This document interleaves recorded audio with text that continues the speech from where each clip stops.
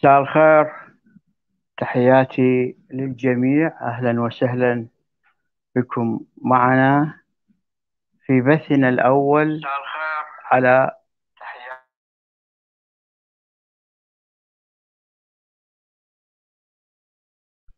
في بثنا الأول على قناة سمير ميديا وهي إحدى القنوات التي تتبع لمجموعتنا أيوب العراقي. والتي هي أيضا قناة احتياطية أخرى نتيجة المعركة التي نخوضها مع اليوتيوب ومع الذين يريدون محاربة وإسقاط القناة. بشتى الوسائل يعملون. أهلا وسهلا آه، بشور العراقي. أهلا وسهلا أخير أمان. أهلا وسهلا سمير البصري أهلا وسهلا عيشة الحسيني أهلا وسهلا ست ياسمين أهلا وسهلا أهلا وسهلا بكل الأخوان الذين التحقوا بنا أهلا وسهلا علاء صابر أهلا وسهلا ست روزة أهلا وسهلا بك معنا. أهلا وسهلا ست نعيمة أهلا وسهلا أهلا وسهلا. ست سوسو أنا قرأت ست نعيمة كاتبة ست سوسو عندها صيام ما أعرف هذا الصيام اللادينيين ما أعرف. عز الدين أهلا وسهلا. أخي الفاضل أهلا وسهلا. أخي لافندر أهلا وسهلا. آه، بكم معنا. الحقيقة لا زال الضغط علينا من اليوتيوب بشكل عجيب أو غريب مع أننا من القنوات الملتزمة التي لا ندخل لا في شقاق ولا نفاق ولا نقوم بكل هذه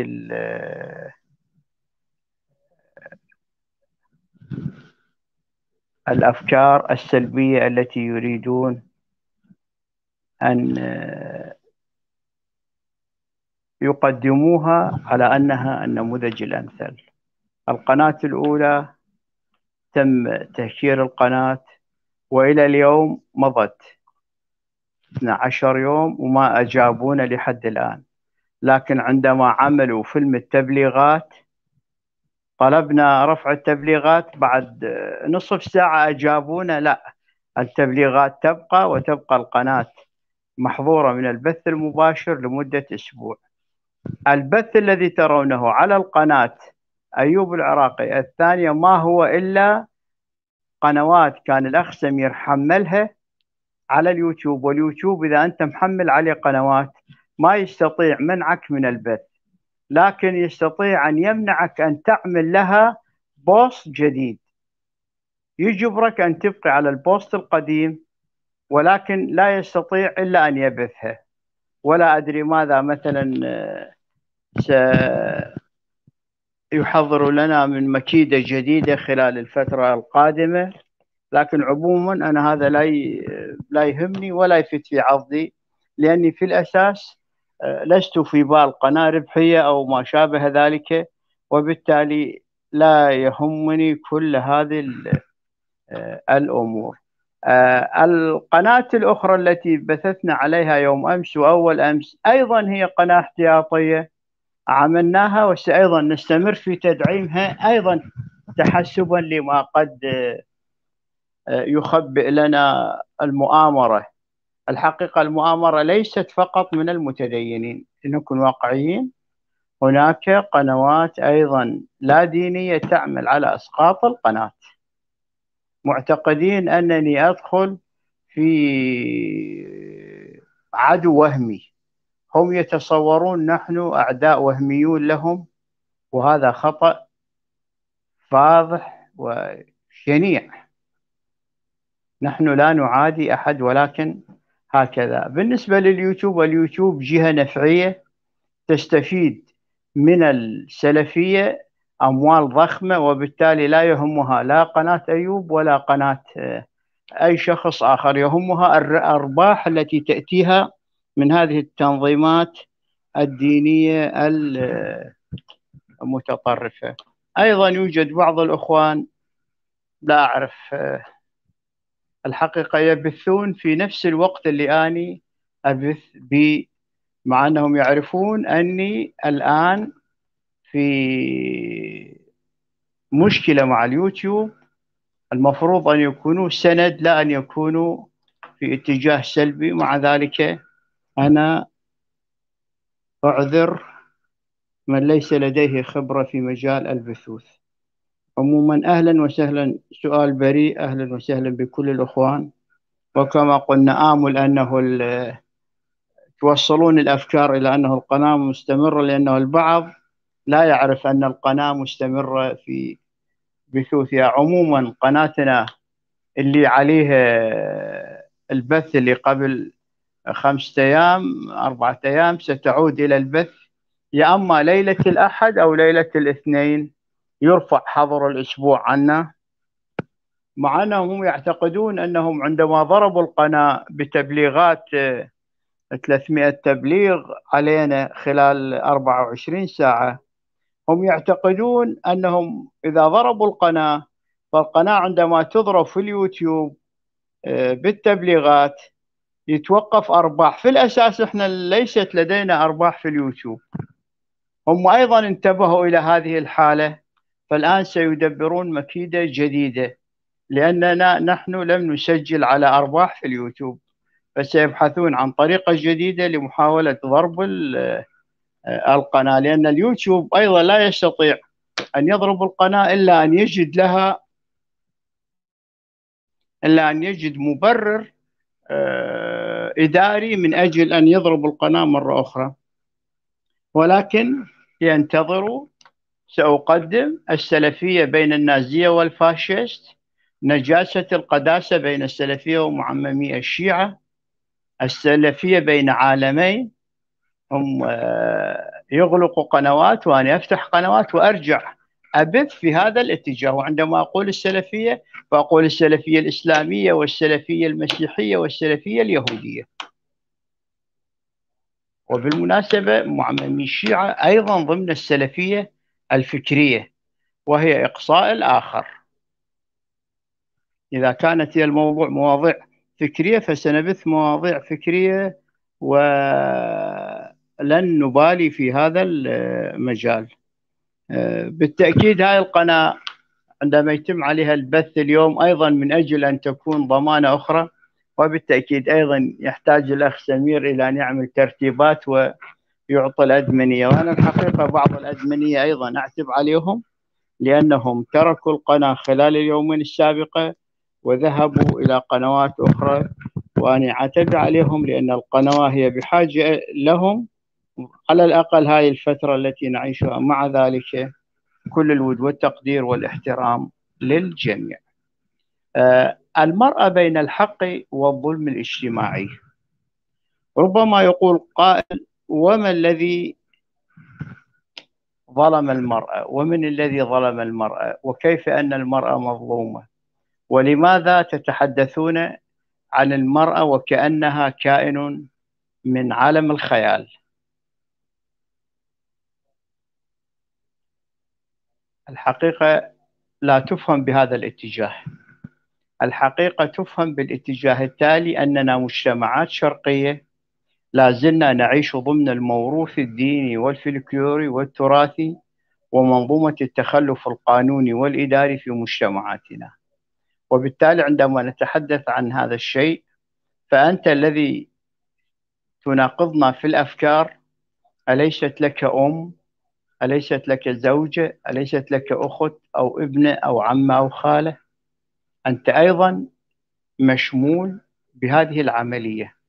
وعندما نقول المرأة لأن المجتمع وأساس الحياة قائم على أساس الرجل والمرأة.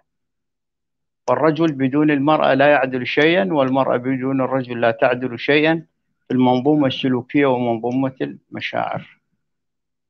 وبالتالي هنا عندما نتحدث في هذه الجزئيات إنما نريد أن نبين الحق ونقدم المفاهيم الحقيقية للسلوك الإنساني البشري الذي علينا أن نعيش به. علينا أن نفكر بطريقة جديدة من أجل إعلاء الفكر الإنساني لأن الإنسانية ليست قاصرة آه، في مفاهيمها ولكنها قاصرة في إعلاء قيمة المشاعر العليا. لأن الإنسان بدون مشاعر بدون قيم بدون مثل يرتكز عليها أيضا لا يعدل شيء لأن المفاهيم عندما تتجزأ ولا تبان الحقيقة للآخرين فلا بد نحن أن نعمل على إيصال مفاهيم الحقيقة المتجددة التي لا بد أن ترى النور في هذا الظلام الحالك في مجتمعات غلف عليها فكر التخلف وفكر التبعية وفكر القمع الفكري لأن التخلف الفكري هو أشد من أي تخلف آخر لأن تقدم الفكر وتأخر الفكر هو الذي يحدد المسارات الحقيقية لحركة الوجدان وحركة النفس البشرية.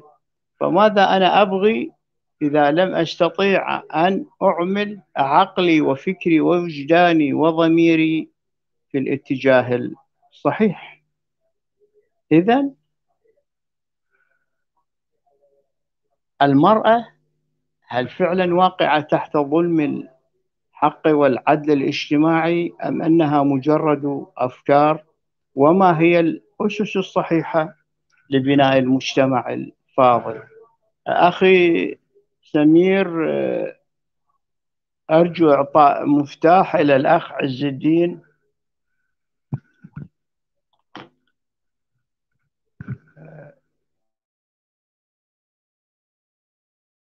إعطاء مفتاح للأخ عز الدين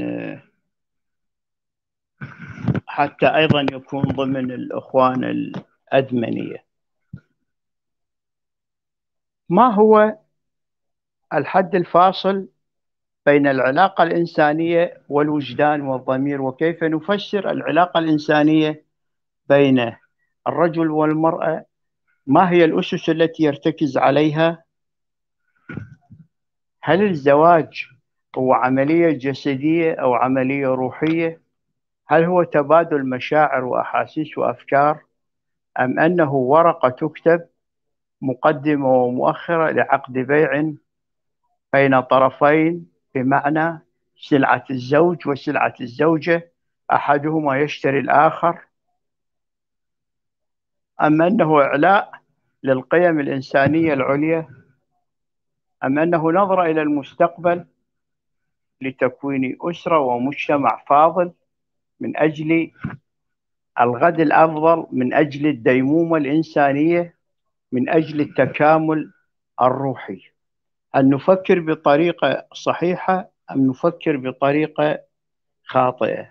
هل توجد أسس لبناء العلاقة الإنسانية أم أنه مجرد كلام؟ في كلام ربما يخرج شخص ويقول وهل كان المجتمع القديم يعيش على أسس اجتماعية أو أفكار محددة حتى كانت مجتمعاتهم مجتمعات آه، مثالية؟ أنا أرى أن الزواج نؤطره بإطار مقدس. هذا الإطار المقدس هو إطار روحي. وهو كما يقولون حاجة إنسانية حاجة شرعية ضرورة إنسانية. فسرها كيفما تشاء ولكني أراها أنها عملية تكامل وتفاضل. من درس الرياضيات يعرف التكامل والتفاضل. التكامل بمعنى أن لي حاجات ورغبات لا أمتلكها كلها والمرأة لديها رغبات وحاجات ولا تمتلك القسم الثاني.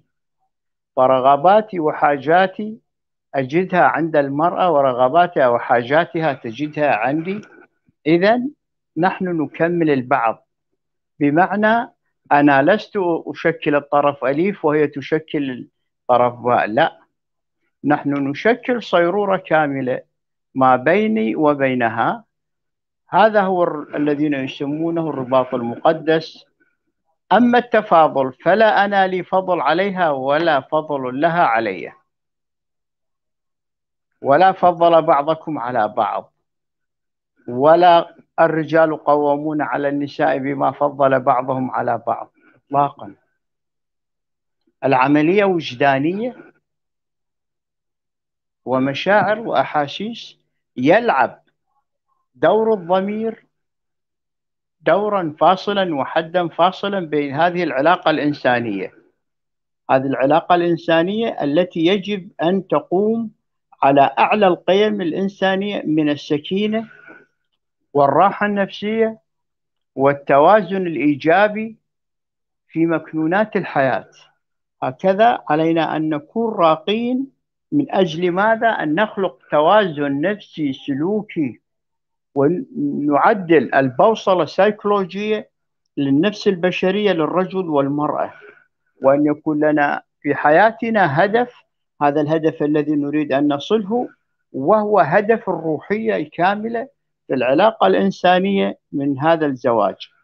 لا يعني بالضرورة أنك تريد أن تشكل أسرة بمعنى أن تنجب بنين وبنات. لا البنين والبنات يأتون مكملين مكملين للعملية وهذا أنت وهي تحددون إن كان طفل أو اثنين أو ثلاثة أو ربما فريق كرة قدم هذا يعود لاتفاق الزوج والزوجة. أما العلاقة الروحية هي العلاقة التي يجب أن تستمر. يقولون لك أن ترتبط بولد وبنت مع الزوج والزوجة حتى يستمر الرباط وهذا خاطئ.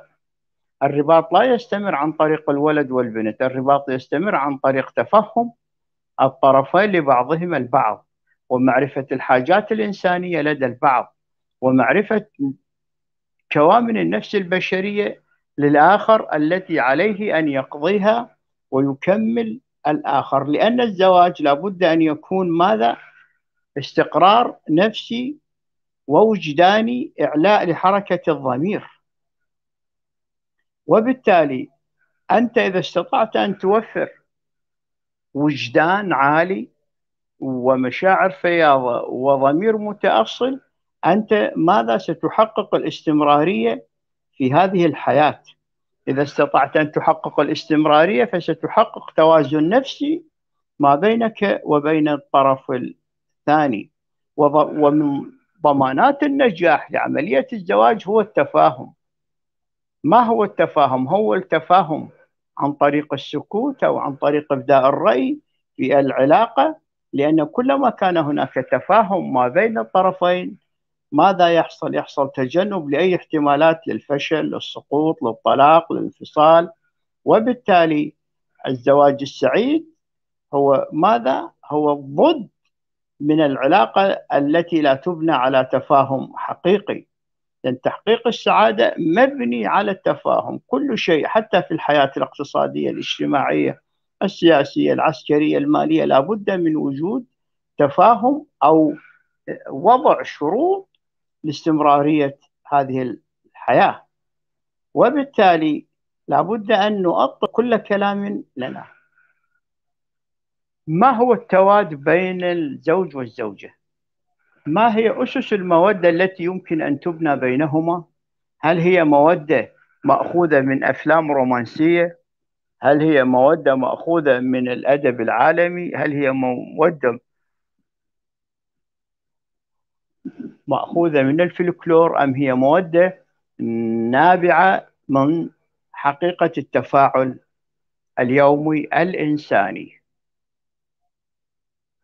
التفاعل اليومي الإنساني هو الذي يحقق لك المودة. المودة بمعنى الرحمة بمعنى الإشفاق بعضنا على بعض بمعنى نظرتي لها ونظرتها لي بمعنى أرى حاجاتها وترى حاجاتي أسأل عنها في صحتها في شفائها في نقائها في عملها في حاجاتها في ملبسها في مأكلها في مطعمها. هل فعلا نحن نقوم بهذا الشيء؟ أم أني أتكلم بعيدا بعيدا عن هذا الشيء؟ لا هي هاي الحقيقة. الزواج الناجح هو الذي يقوم على المودة والرحمة والألفة والتواد. والابتسامة وهذا كله مطلوب لأنه هو يكون ماذا؟ يكون مفتاحا للحب. الحب هو المودة الحقيقية لأنها تحقق لأن الحب هو الذي يحقق لك الانسجام والتعايش الحقيقي الذي يحصل بين الزوج والزوجة. وبالتالي عليك أن لا تخمد المشاعر الفياضة من الحب المتأججة داخل نفسك بل برزها إلى الخارج لأن كلما برزت مشاعرك الحقيقية جعلت هناك ألفة ومودة ما بينك وبين زوجتك من محبة وتراحم وليكن الاحترام هو المقياس الحقيقي لنوع العلاقة لأنه إذا أنت احترمت زوجتك وهي احترمتك فلن يكون هناك خصام أبدا. لأن الاحترام هو إعلاء القيمة العليا للكرامة الإنسانية. فزوج بدون كرامة وزوجة بدون كرامة كأكياس نفايات ملقاة في أي بيت في أي مكان في شقة أو عمارة أو مدينة أو حتى دولة. لأن الكرامة مرتبطة بالاحترام والكرامة أيضا والاحترام مرتبط بتفهمنا لبعضنا البعض لأننا إذا فكرنا بطريقة توافقية وجعلنا الأفكار والانفعالات والرحمة بيننا هي هي الطريق الحقيقي للوصول إلى الجمال جمال ماذا؟ جمال النفس وعندما أقول جمال النفس بمعنى أني سموت وعلوت في مشاعري وفتحت الطريق الحقيقي لديمومة واستمرارية الحياة كيف أفتح طريق حقيقي؟ أفتح طريق حقيقي عن طريق الصبر لأني أنا أخطئ وهي تخطئ وكلنا نخطئ. ومن يقول لك أنا لا أخطئ وأني كامل الإرادة فهو واهم بل أنه يعيش في عالم آخر عالم الكذب لأنه لا يوجد شخص لا يخطئ. ولكن الخطأ مبني أيضا على الصبر والتضحية بمعنى أنا أصبر على الآخر والآخر يصبر علي لأننا نوازع بشرية ومشاعر ربما تكون مشاعر سلبية أو إيجابية وربما ضغوط الحياة والأحاسيس التي تحصل نتيجة هذه الضغوط ربما تعكر المزاج ربما تضغط عليه ضغطا سلبيا أو تضغط عليها ضغطا سلبيا. وإذا كان كلانا موظفين في دائرة معينة فربما ضغوط العمل وضغوط المجتمع وضغوط الحياة هي التي تفرض علينا آه، إشكالات ربما تنتج عن هذا الضغط الذي يتم. إذا أنا أتحلى بالصبر وأضحي من أجل الآخر والآخر يضحي من أجلي. هنا ستستمر هذه العلاقة وسيكون مسارها مسارا صحيحا لأن هكذا نبني المجتمع هذا الاتجاه الحقيقي اتجاه التفاهم ما بين الطرفين. لماذا؟ لأن هذا التفاهم هو الذي يحقق مصالح مشتركة ما بين الجميع والمصالح المشتركة ستكون مصلحة الزوج والزوجة والأسرة والديمومة. إذا الحياة لابد أن تكون يوم لك ويوم عليك وهذه الأيام تتبادل بينها ما بين زوج متعب وزوجة متعبة ما بين زوج مريض وزوجة مريضة. هكذا هي الحياة لأنه لا يوجد شخص كامل من كل الاتجاهات أنا أهتم بها وهي تهتم بي أنا أراعيها وهي تراعيني. هكذا حالتي الصحية إذا هي تفاعلت معي وأنا تفاعلت مع حالتها الصحية وأنا شعرت بآلامها وآهاتها وهي كذلك إذا أنا ساندتها وهي ساندتني. إذا خلقنا النموذج الكامل في الحياة أساعدها في أعمال البيت وهي تساعدني في هذه الأشغال أنا أساعدها في التربية وهي تساعدني أساعدها في قضاء المصالحنا المشتركة وهي تساعدني أعرف حاجاتها وتعرف حاجاتي. إذا أنا أساندها وهي تساندني. إذا سيكون العمل متبادل وليس شخص وطرف واحد يعمل والآخر يتج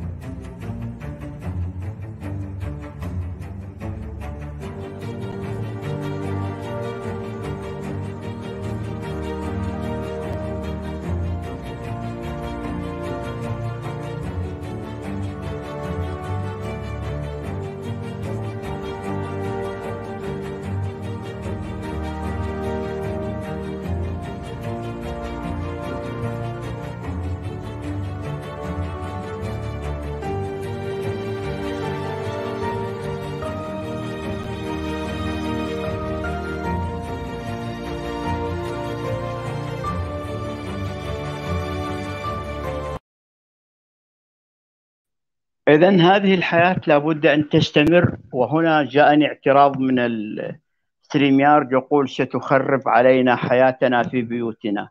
نستمر في حديثنا هذا خلل في النت.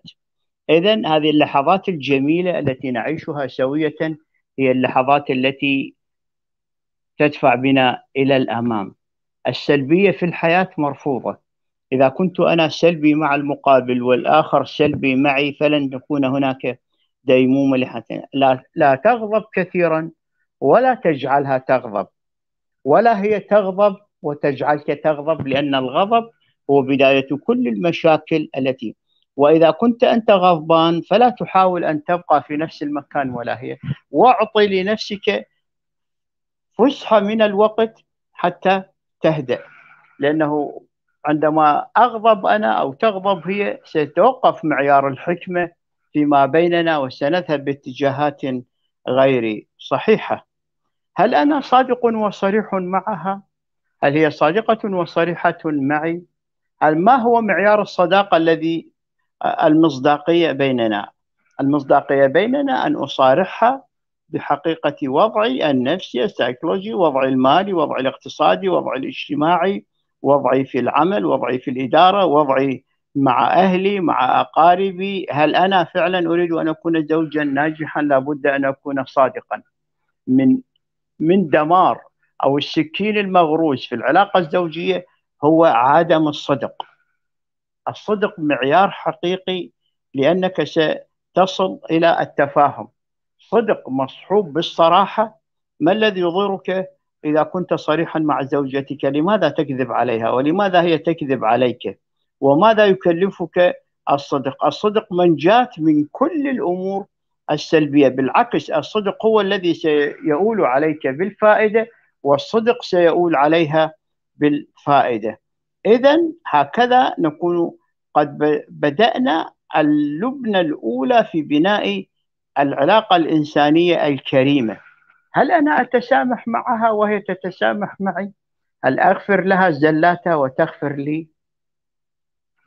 في مجتمعاتنا مجتمعات سلبية لا تقبل التسامح ولا تغفر.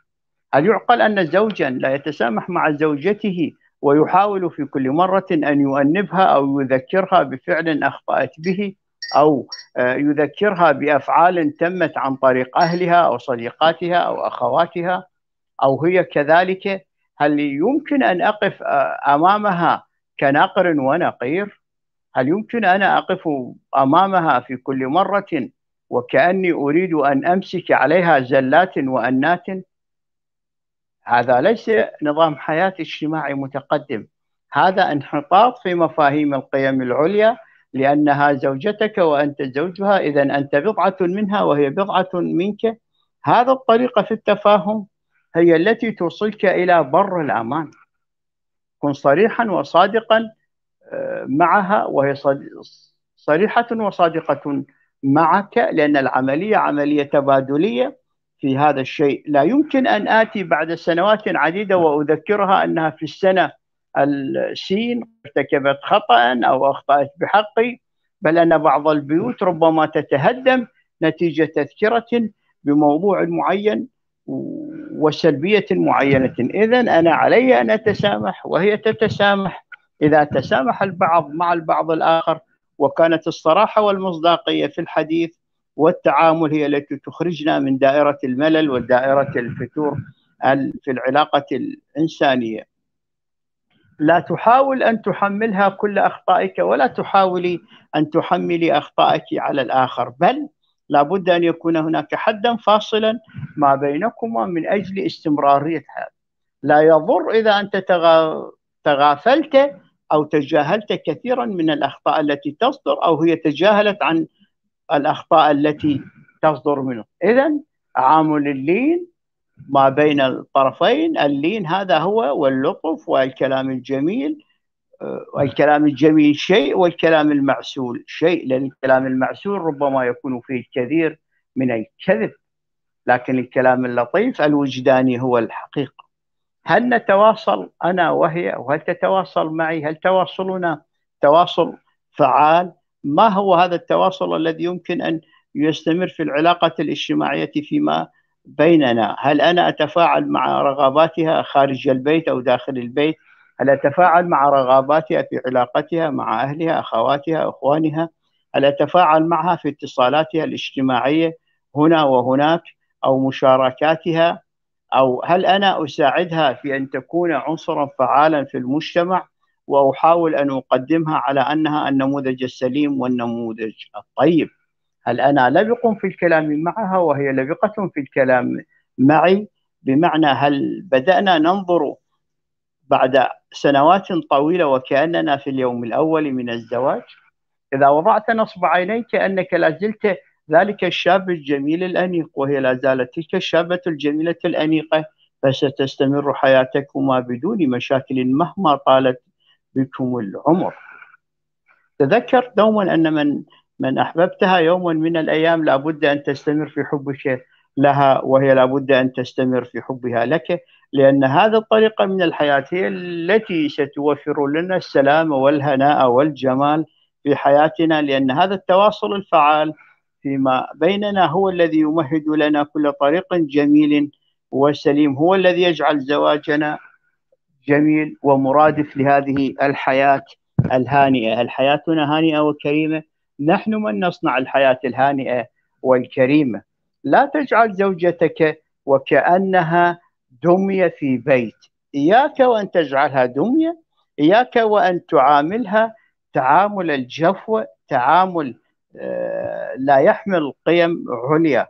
لا تعاملها البعض يعامل زوجته وكأنها دابة آه، من الدواب. وهناك من هذا المجتمعات المتخلفة التي تنظر إلى المرأة على أنها آه، رقم ثاني في العلاقة. وهناك نساء متمردات أيضا لا يمتلكن حسا مرهفا ولا أفكارا إيجابية من أجل ديمومة هذه الحياة. الحياة تحتاج مني وتحتاج منها الكثير من أجل أن تستمر. نذهب لفاصل ثم نعود من أجل أن يستمر الحوار.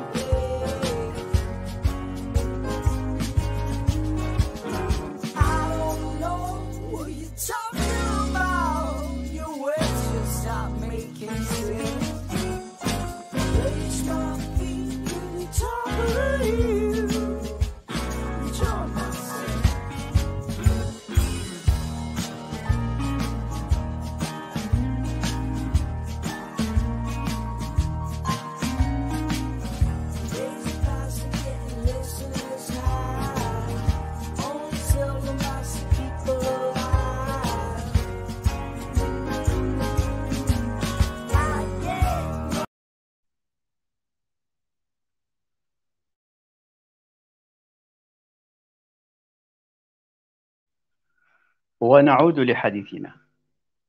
كم مرة اعتديت على زوجتك بالضرب؟ كم مرة وقفت أمام زوجك وحاولت إهانته أو ضربه أو الاعتداء عليه؟ نحن نعيش الحياة الفاضلة أو الحياة المثالية؟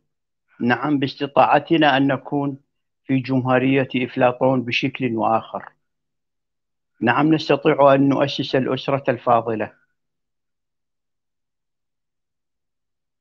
كلما احترمت قيمتك العليا وذاتك العليا بمعنى فعلت قيمتك وجعلت الحب هو الذي يسود مع زوجتك. من يفكر أن يعتدي على زوجته فإنما هو إنسان ناقص فكريا عقليا أخلاقيا. والسفيهة هي تلك التي تتجاوز على زوجها ولا تجعل له قيمة عليا ولا تحترمه أمام هذا وذاك. سفيه قليل أدب من يخرج كل مشاكل بيته وينقلها إلى والده أو والدته أو إلى أخته أو أخيه. لا تجعل الآخر يتدخل في حياتك الشخصية مهما كان قربه منك لأنه لا قرب أعلى من قرب زوجتك إليك مهما كانت. حتى ولو خلفتم عيالا كثر فتبقى زوجتك هي المعيار الحقيقي لحياتك. لأن حياتك الكريمة هي مع زوجة كريمة فاضلة. وحياتك الكريمة هي مع زوج كريم فاضل. ولكن ماذا نفعل مع زوج خسيس لئيم كذاب معتدي يده تسبق لسانه ولسانه يسبق يده. شخص يكذب شخص يسرق شخص غير صادق مع زوجته. هناك كثير من الناس لا تعرف زوجته ماذا يملك وكثير من الرجال لا يعرف زوجته ماذا تخبئ. هل تخبئ أموالها أو آه، المبالغ التي لديها في بيتها أو تجعل أموالها في عند أهلها عند أخواتها أو والدتها مثلا. هنا هذا هو ناقوس الخطر. عندما لا تكون هناك ثقة متبادلة ما بين الزوج والزوجة هنا يدق أسفين الظلم ما بينهما. لا تحاول أن تغلق باب جرارك أو صندوقك أو كنتورك وتخبئ الأموال إنها طريقة متخلفة جدا في طريقة إخفاء الأموال. اجعل أموالك أمام زوجتك. واجعل واجعلي أموالك أمام زوجك. لا تحاول أن تحسب عليها بالورقة والقلم ما اشتريت وما بعت وما جئت وما أخذت وأنت كذلك. لا يكون معيار المال هو المعيار الحقيقي للتعامل لا لأنك إن حسبت عليها أو حسبت عليها وكأنهما من طرفين نقيض. لأنك إن بدأت تحسب أموالك وتحسب إذا لا توجد ثقة مشتركة متبادلة ما بين الزوج والزوجة وهذه جريمة في سلم الحياة الاجتماعية. حاول أن تبرز زوجتك أمام الناس على أنها مثال جيد جميل. اهتم بأناقة زوجتك واهتمي بأناقة زوجك. حاول أن تقدم لها هدية في كل مناسبة أو مناسبة واحدة على الأقل وهي مناسبة الزواج. ربما هناك من يرى أن هذه لا أو ليس بالمردود المادي الذي يمكن أن تقدمه أنت إطلاقا. قد تكون الهدية التي تقدمها أنت هي ابتسامة ولكنك تذكرها بهذه الابتسامة في يوم الوعيد بمعنى يوم الالتقاء. هل نحن نغرد خارج السرب؟ لا. هذه هي الحقيقة التي علينا أن نبحث عنها مهما كانت. أنا وأنت سنغادر هذه الدنيا ولكننا علينا أن نضع بصمة جميلة لحياتنا. هل يمكن أن أكون أنا المثال الحقيقي أمام الناس وهي المثال الحقيقي؟ نعم. نعم. لا تنزعج عندما تسألك على تصفيفة الشعر أو الملبس أو آه، حتى نوع الحذاء إذا هي اختارته أو أبدت رأيها. هناك عوائل هدمت من أجل ملبس أو حقيبة أو ساعة أو ما شابه ذلك. كلما اهتمت بك زوجتك في هندامك وملبسك اعرف أنها تحبك حبا جما. واعرفي أن زوجك إذا اهتم بك وبملابسك وأناقتك وتصفيفة شعرك وروائحك التي تستخدميها فاعرفي أنه يحبك وأنه لا يريد أحدا سواك. لا تحاول دوما أن ولو بأي كلمة أمام الآخرين أن تقلل من قيمتها. لأنك إن قللت من قيمتها فإنما تقلل من قيمتك أنت أمام الناس. فلا تكن أنت عليها عونا لأن الظلم هو هذا الظلم هو الآفة الكبيرة في سقوط القيمة العليا للإنسانية. الظلم بمعنى الظلم النفسي ظلم المشاعر. ظلم المشاعر وكما يقولون وأشد مضاضة علي ظلم ذوي القربى. ظلم ذوي القربى أشد مضاضة من الحسام المهندي بمعنى كل ظلم تقبله الزوجة إلا ظلم زوجها لأنه ظلم المشاعر وظلم الأحاسيس وكذلك العملية المتبادلة.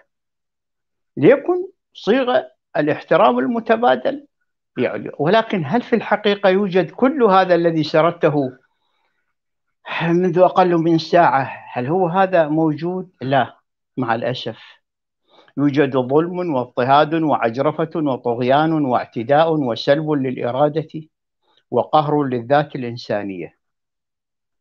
وأشد ظلما عندما تكون أنت في مكان بعيد وتحاول أن تقهر زوجتك لأنها بعيدة عن أهلها وعن بيتها وعن منطقتها وعن محافظتها وحتى عن بلدها.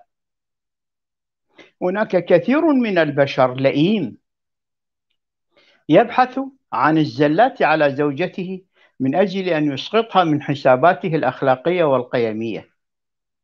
والبعض من النساء تضحي من أجل زوجها ولكنه لا يقدر قيمة التضحية. وهناك من يستغل العوامل الإدارية في بلده وفي مجتمعه من أجل ماذا؟ من أجل أن يكبلها بالأطر القانونية والإدارية لأجل ماذا؟ لأجل مستقبلا أن يسيطر عليها يقاسمها الأموال يقاسمها حتى الراتب في بعض الدول الأوروبية يستطيع الزوج أن يأخذ من أموال زوجته لأنه راتبها مثلا يكون أعلى من راتبه أو أن هناك طرق من الاحتيال والنصب الإداري بحيث يستطيع حتى ولو طلقها أو طلقته أن يستحوذ على نصف مبالغها مثلا. هذا الظلم هذا يبين خسة المقابل ولآمته ودناءته. والبعض كثير من البعض وأنا مطلع الآن مثلا في بلادنا يوجد في الساعة 60 حالة طلاق في الساعة في العراق. وفي بعض الأيام تصل إلى 70 حالة في الطلاق. ولكنها عموما منذ عدة سنوات ما بين 60 إلى 70 حالة طلاق في في في الساعة. في الساعة. بمعنى 1700 1800 حالة طلاق في اليوم. بمعنى ربما يكون الرقم مخيف شهريا. فماذا يكون سنويا؟ وهناك حالات طلاق تحصل في اليوم الأول من الزواج. لأسباب تافهة ربما لأن والده لم يهنئها أو أن والدها لم يهنئه ومن هذه الأمور. أو لأنهم لم يسافروا إلى مكان معين إلى منتجع إلى مصيف إلى أي مكان. إذا هكذا هذه الأمور هي التي تهدم البيوت. والطامة الكبرى في بعض المجتمعات أنه بعد عشر سنين من الزواج وبعد عشرين عاما من الزواج والبعض بعد ثلاثين عاما من الزواج وإذا به يعتدي على زوجته ويضربها وربما يهشم عظامها وربما يدخلها إلى الإنعاش تصوروا أنه بعد عشرات السنين من الزواج هناك من يعتدي على زوجته بالضرب وهناك من يشرع في محاولة قتلها وهناك البعض من يصر بعد انتهاء العلاقة الإنسانية وحصول الطلاق من لا زال يفكر أن ينتقم وهل هي عدو لك؟ أين مشاعر الحب والأحاسيس التي كنت تتبادل معها؟ إذا أنت كنت إنسان كذاب. أنت إنسان غير محترم وغير جدير بالإنسانية ولكن هذه هي الحقيقة. ولا تتصوروا أن البلدان الغربية هي أفضل من البلدان الشرقية في مواضيع الزواج والعلاقة الإنسانية. حسب ما أعرف لا يوجد فرق كبير جدا. نعم يوجد فرق في نوع الحياة الاجتماعية بحكمها الإداري. ولكن بالحكم الإنساني أنا لا أعتقد هذا. أعتقد أنه الظلم يقع على الزوج على الزوجة في كل بلدان الأرض. ثم الدين لا يؤطر لك اتجاها صحيحا في بناء العلاقة الإنسانية لأنك ما بين الزوج والزوجة لا يوجد شيء اسمه عبودية الزوج للزوجة ولا الزوجة عبدة لزوجها. ولا موضوع القوامة على أنه يصرف عليها أو تصرف فهل هي إذا صرفت عليك هي التي ستمتلك القوامة عليك؟ هل هي التي ستدير وهل فكرت يوما لو كنت أنت أنثى وكانت هي ذكر ماذا ستكون العلاقة الإنسانية؟ ربما البعض يقول لماذا تطرحون مثل هذه الطروحات؟ الأطروحات. نطرح هذا لأننا من ضمن هذه المجتمعات من ضمن هذه الخلفية التي نتحدث عنها علينا أن نكون واثقين من أن تصرفاتنا وأفعالنا هي مبنية على الحق والحق هو تبيان ما لك وما لها وما عليها هل يمكن أن نصل إلى هذا المثال؟ نعم يمكن أن نصل نصل بماذا؟ نصل بالتفاهم هل التفاهم هو مجرد نزوات وأكاذيب أم هي حقائق مجتمعية؟ الطامة الكبرى أن بعض الزوجات تريد في كل مناسبة قطعة ذهب وهي تعرف أن زوجها موظف لا يمتلك شيء. هل يذهب ليسرق؟ أو تريد منه مع كل وجبة هواتف نقالة جديدة بموديلات حديثة أن يشتري لها هاتف نقال وهي تعرف أن راتبه بالكاد يسد البيت. وهناك أزواج يطلبون من زوجاتهم أن تذهب إلى أهلها وبطرق ملتوية أن تحصل له على بعض الأموال. أساليب متنوعة في النصب والاحتيال ما بين الزوج والزوجة. إذا هي المعاناة ظلم اجتماعي متبادل ما بين الزوج والزوجة لا يؤطر لنا اتجاها حقيقيا. ولكني حقيقة أنا عندما أرى أن في السنة الواحدة تصل نسب الطلاق إلى ما بين 400 ألف إلى نصف مليون حالة طلاق هذا مؤشر خطير. لابد أن نرى أن هذا المؤشر هو دمار. هذا المؤشر لا يمكن أن نقبل به ونحن نتحدث عن ال... عن الإنسانية ونتحدث عن القيم و... لا لا. لا نكذب على بعضنا وندعي المثالية. ولكني أنا حقيقة ولا تفاخر على أحد ولكني عرفت هذه الحياة وخبرتها وعرفت كل ما فيها أو أكثر ما فيها. ولكني بحكم عملي القانوني اطلعت على كثيرا من البلاوي والمصائب. رجل يقتل زوجته رجل يقطع زوجته إربا إربا امرأة تتعاون مع ولدها لذبح زوجها وتقطيعه امرأة تتعاون مع أخوتها لقتل زوجها زوج يتعاون مع أخوته أو أخواته لقتل زوجته ورميها في بركة في وادي في مبزل. لا أدري. تبقى نقطة أخيرة وهي إياك وأن تتخذ من المخدرات والحشيشة طريقا للحياة لأنها ستدمرك وتدمر زوجتك. إياك وأن تذهبي في هذا السلوك الخاطئ لأن هذا السلوك الخاطئ في تعاطي هذه المخدرات والحشيشة والحبوب وما شابه ذلك. هذه تفتح عليك أبواب الشر ولن تنغلق أبواب الشر في عالم المخدرات. وهذه وحدها تحتاج إلى حديث طويل. ومعي الأخ الفاضل عز الدين. أهلا وسهلا بك أخي عز الدين. المايك معك أهلا وسهلا بك. شكرا أخي العزيز أيوب. تحياتي لك وإلى الحاضرين معنا في هذه السهرة. المرأة في في هذا العالم يعني نبدأ جملة نتحدث عن عن مكانة المرأة في العالم. هذا عالم ذكوري عالم آه، يقوده الرجال وهم يسيطرون آه، وهم قوامون على النساء بحكم آه، قوتهم الفيزيولوجية. هذا هو المنطلق. سيطروا على المرأة وأصبحت بمجرد سلعة تباع وتشترى. هذا هو الزواج. حقيقة حتى إذا نظرنا إليه من المفهوم الإسلامي وحتى عند المسيحيين واليهود المرأة لا قيمة لها. هي آه، هنا لتخدم زوجها وتربي أولادها. هذا هو الأمر.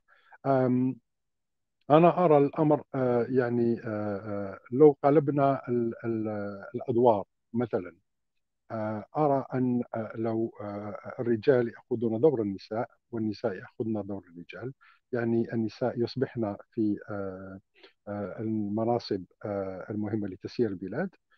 والرجال يأخذون أدوار النساء. يعني لا لا يبقون يتكلفون بالأطفال يأخذون من المدرسة ويعودون بهم يحضرون العشاء والمرأة تأتي من العمل وتقضي ساعات مع أبنائها.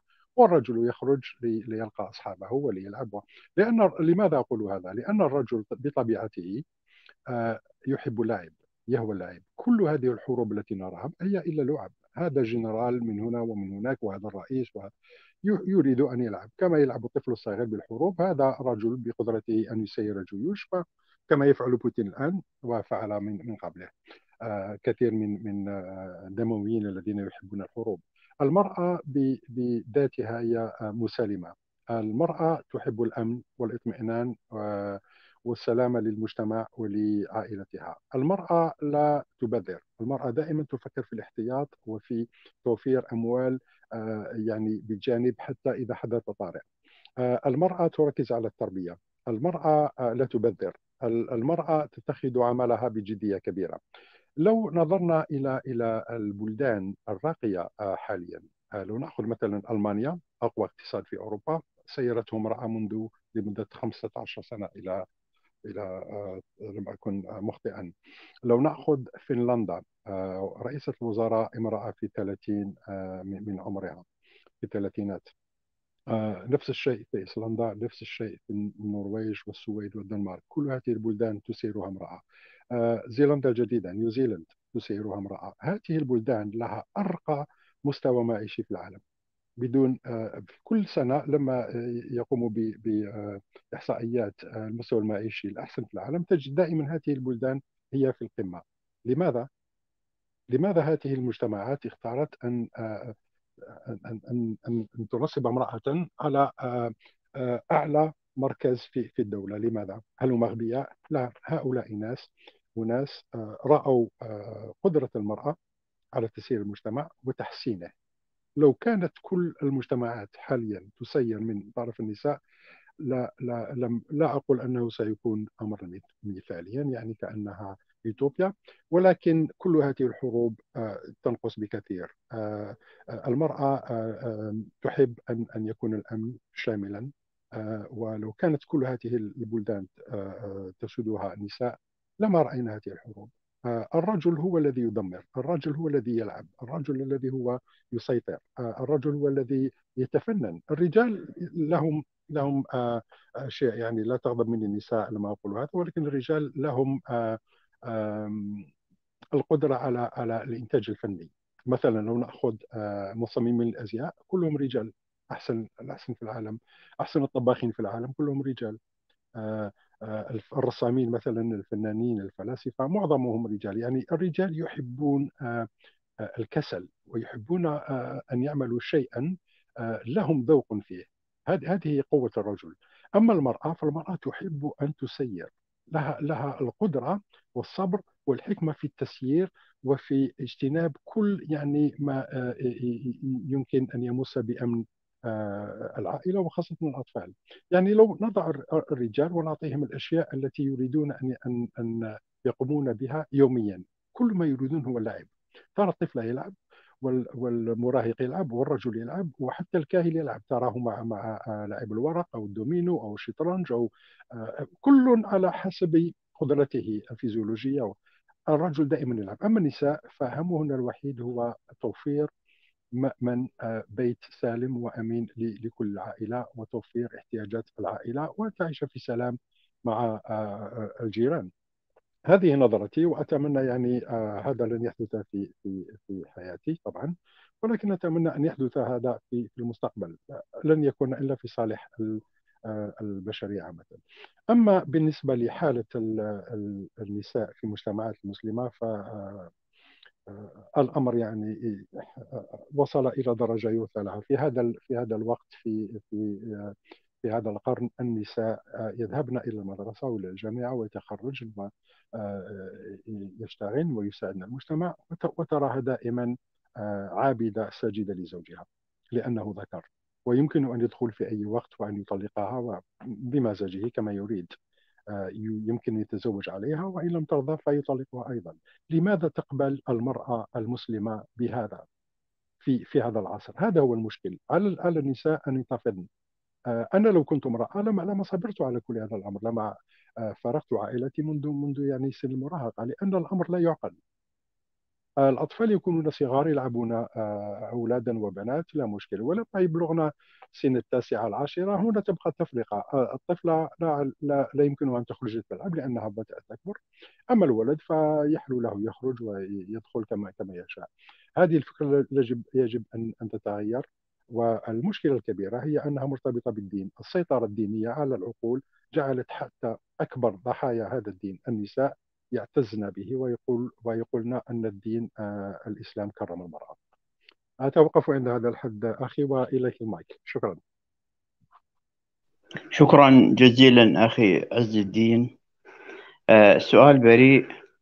يقول إذا كان القانون يسمح بالزواج لأكثر من امرأة ف فهل هناك ما يمنعه إذا القانون يسمح له؟ يا عزيزي الذي يريد أن يتزوج. شيء والقانون يسمح له شيء والأسرة شيء آخر. النظام الديني يسمح بتعدد الزوجات ولكن لا توجد زوجة على وجه الأرض تقبل أن تشارك زوجها امرأة أخرى. هذه عوامل نفسية سيكولوجية مشاعر أحاسيس. يبقى نوع العلاقة ما بين الرجل والمرأة. هناك كثير من النساء الحقيقة البعض تعتقد أو بعض الرجال أيضا يعتقد أن زوجته البعض يتزوج ويخبئ زواجه عن زوجته. وهناك قصة تتحدث عن رجل تزوج ثلاث نساء فوق زوجته ولكن بقيت الزوجة الأولى هي صاحبة الحظوة. لماذا؟ السبب جدا بسيط. سئلت هذه المرأة. قالت أنا أعرف أنه تزوج ولكني لم أخبره أني أعرف لأنه بقي طيلة حياته هو خائف من أن أعرف. ولذلك أنا أضمنه يوميا موجود لدي في البيت ولكني لو أخبرته أني أعرف أنه متزوج فسيعطيني ليلة من الليالي. مجرد هي مقاربة ربما تكون من باب المزحة يا عزيزي الزواج القانون أو غير القانون هو هو علاقة إنسانية. هناك في المفهوم الديني التي متشبعة بالمفهوم الديني تقول لك أن الدين يبيح له ويحلل. هناك نساء لو أسقطت عليها القانون والحقوق من السماء فهي تبقى ضمن القطيع. هذه هي لا تريد أن تغير.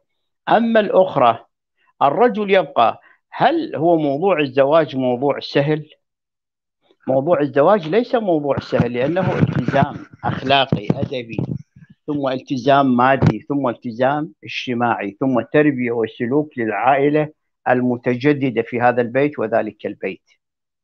ولكن أنا خلال خبرتي في موضوع القضاء نسبة النجاح في الزواج الثاني والثالث هناك اتجاهين. في في المناطق الحضرية والمدنية نسبة الزواج بثانية وثالثة يكاد نقول أكثر من 90% فاشل ولا تتوفر له استمرار الديمومة. يبقى في المناطق القروية والفلاحية يستمر يستمر لعدة أسباب أسباب الحاجة المادية والعمل. والنظام التراثي ونظام القبلي وقانون العيب أن المرأة تمنع زوجها من الزواج. لكن المرأة في داخلها هي لا لا لا تقبل أن يتزوج عليها زوجها لا تقبل. ولكنها ماذا ملزمة بنظام اجتماعي؟ هذا النظام الاجتماعي هو الذي يجعلها تسكت. نظام الاجتماعي نظام القبيلة النظام الديني هو الذي يجعلها تسكت. هل هناك فائدة من الزواج بالزوجة ثانية وثالثة أنا وفق مفاهيمي ورؤياي لا أرى فيه أي فائدة وأي قيمة لأن مكونات المرأة هنا وهنا هي نفس المكونات. ولكن ما يدرك أن المرأة الثانية ستعطيك الحب والحنان والمودة والاحترام والقيمة العليا. ما الذي يضمن لك؟ ما الذي يضمن لك أن المرأة الثانية إنما ستقلب البيت نارا على نار؟ ما الذي سيضمن لك أن المرأة الثانية ستقلب بيتك جحيما؟ ما الذي يضمن لك أن المرأة الثانية ربما كما يقولون بين قوسين ستلعب بذيلها؟ ضمانات الحياة قاسية والمعاناة أقسى. ولكن إذا عرفت نفسك عرفت حقيقة مع من تتعاشر. إذا عرفت نفسك عرفت أن لك زوجة تعطيك القيمة العليا للحب وأنت تعطيها القيمة العليا للحب. يبقى موضوع تعدد الزوجات هذا وحده يحتاج إلى حلقة. آه، معنا الأخ آه، مرتضى الناصري. أهلا وسهلا. آه، أخي مرتضى منور مشتاقين لك. آمل أن تكون بصحة وعافية. هكذا حكمت علينا الظروف. عزيزي خربشات موسيقية هذه حلقة مباشر. حلقة مباشر. تفضل أستاذ مرتضى أهلا وسهلا بك معنا. شكرا لك أستاذنا العزيز وتحية لك وللحاضرين معنا. طبعا وأنا أشوق ولكن مشاغل الحياة والعمل أنت عارف بعد. طبعا أنا لم أحضر أستمع للحلقة كاملة الآن. أبلغني أستاذ سمير لأنه كنت في عمل. المهم آه، في قضية الزواج وكيف أنه الرجل يبني آه، أسرته وحياته آه، الزوجية. في الحقيقة العربي بالأخص أنه لا ينظر على الزواج على أنه هو بناء أسرة وشراكة لبناء أسرة بل إنهم آه، يعتقدون إن الزواج هو فقط للنكاح لأنهم عندهم آه، ديني وثقافي على إنه المرأة هي فقط آه، للنكاح. فبمجرد ما أن لا ترضيه غرائزه أو يحدث عندها مثلا تتعرض إلى مرض أو حالة نفسية فهو مباشرة لأنه هو يبني أو, أو, أو, أو في ذهنه أو آه، أن المرأة هي آه، ليست زوجة هي فقط أداة للنكاح. ولذلك هو يبحث دائما عمن ترضي غرائزه. لا يفكر كثيرا بإسرته وارتباطه مع زوجته هو فقط كما قلنا النكاح ولذلك تجد حتى في موروثه الديني تجد مفردات آه، لم تقل إنه لبناء اسره وإنما تقول انكحوا انكحوا انكحوا. وهذا شكل عندهم آه، ثقافة آه، ثقافة الزوجية على أنه فقط لممارسه الجنسية فقط. الاسره هي مسؤولية الزوج والزوجة هما المسؤولان عن الأسرة.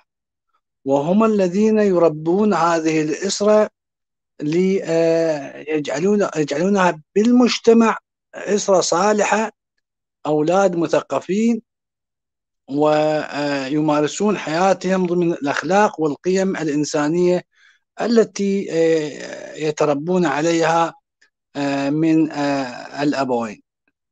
نحن اليوم الكثير من الرجال دمروا أسرهم تركوا أسرهم تعاني وذهبوا بعيدا إلى أزواج أخرى لترضي غرائزهم.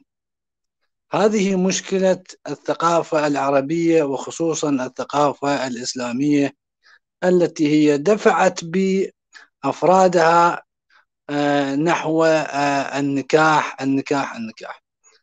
نحن المفروض عندما الإنسان يتزوج يتزوج ليكون عائلة ليكون عائلة وأسرة. أسرة هي التي بذره المجتمع الصالح. هذه البذرة إذا كانت فاسدة وإذا كانت غير منضبطة فهذه لها أثر كبير على المجتمع. لأنه المجتمع يتكون من الأسر. اذا كان الزوج الأب ينظر إلى أم أولاده هي وعاء لتفريغ شحناته الجنسية وهكذا يتربى الأبناء هكذا ينظرون إلى النساء. هكذا النساء أيضا اقتنعنها أيضا آه، ينظرن إلى الزواج كما ينظر الرجل. نعم هي تعاني هذه المرأة تعاني ما عانت. آه، عانت الكثير من الثقافة العربية والإسلامية. لكن ماذا تفعل؟ لا حول ولا قوة لها. حتى وإن كان لها الحق تجد إن الأب والأخ يقفون ضدها ويحاربونها. ويقنعونها على أنه ترضى بهذا الظلم من قبل الزوج. لماذا؟ لأنه يعتبرونه مخالفة شرعية. وتخالف آه، إذا اعترضت على زوجها يعتبرون هذا هذا من من الكبائر. عليها الإطاعة فقط عليها أن ترضي غرائزه عليها أن تبحث لإسعاده فقط. ولا تفكر في نفسها ولا تفكر في عائلتها بقدر ما تفكر في بزوجها. وكيف ترضيه؟ المرأة في مجتمعاتنا عبارة عن خادمة. هكذا عندما تزف إلى الرجل تزف على أنها خادمة له. لا تعصي له أمرا. ليس لها أي رأي. ليس لها أي آه، ولا يمكن لها أن تتخذ قرار حتى في الأمور التي تخصها. هكذا آه، تربت مجتمعاتنا وهكذا دمرت عوائلنا بسبب هذه الثقافة البائسة الثقافة المتخلفة الثقافة القديمة. وإلا هذه الزوجة هي تصبح أم. أنا قرأت وذكرت عدة مرات أنه أحد العلماء يذكر ويقول أن هذه المرأة هي حيوان بصورة إنسان كي لا يشمئز الرجل من نجاحها. كيف هذه الأم؟ عندما يقرأ هذا الابن هذا هذا مسطر في في كتبه المقدسة. كيف ينظر إلى أمه؟ هذه الأم المربية. كيف ينظر إليها؟ ينظر إليها على أنها حيوان. لأنه لا يستطيع أن ينكر هذا الكلام لأن هذا الكلام مقدس عنده مقدس في عقيدته. هذا النص نص إلهي. فدمروا دمرت هذه الثقافة دمرت الأسر. دمرت المجتمعات ظلمت المرأة ظلمت هذه الأم ظلمت الأخت ظلمت البنت. هذه الثقافة ويجب التخلص منها على الأقل حتى ولو آه، نبدأ بشيء بسيط. يعني لو, لو, لو المجتمعات تبدأ خطوة خطوة بأن تعطي هذه المرأة كرامتها وعزتها وتعطيها حقوقها لأصبح العالم أفضل. يعتقدون بأن المرأة هي ناقصة عقل لا تدير شؤونها. وهكذا تربينا على هذا على أن المرأة هي ناقصة عقل وناقصة دين وليس بإمكانها أن تدير أمورها إلا أن يكون هنالك ولي لها أو ولي عليها إما الأب أو الأخ أو أو الزوج. وبينما نجد في الطرف الآخر الذين يحترمون المرأة ويعطون المرأة حقوقها نجدهم تفوقوا علينا بكل شيء. نجد أن المرأة تقود الطائرة وتقود السيارة وتصنع السيارة وتصنع الموبايل وتقود وتكون رئيسة دولة عظمى.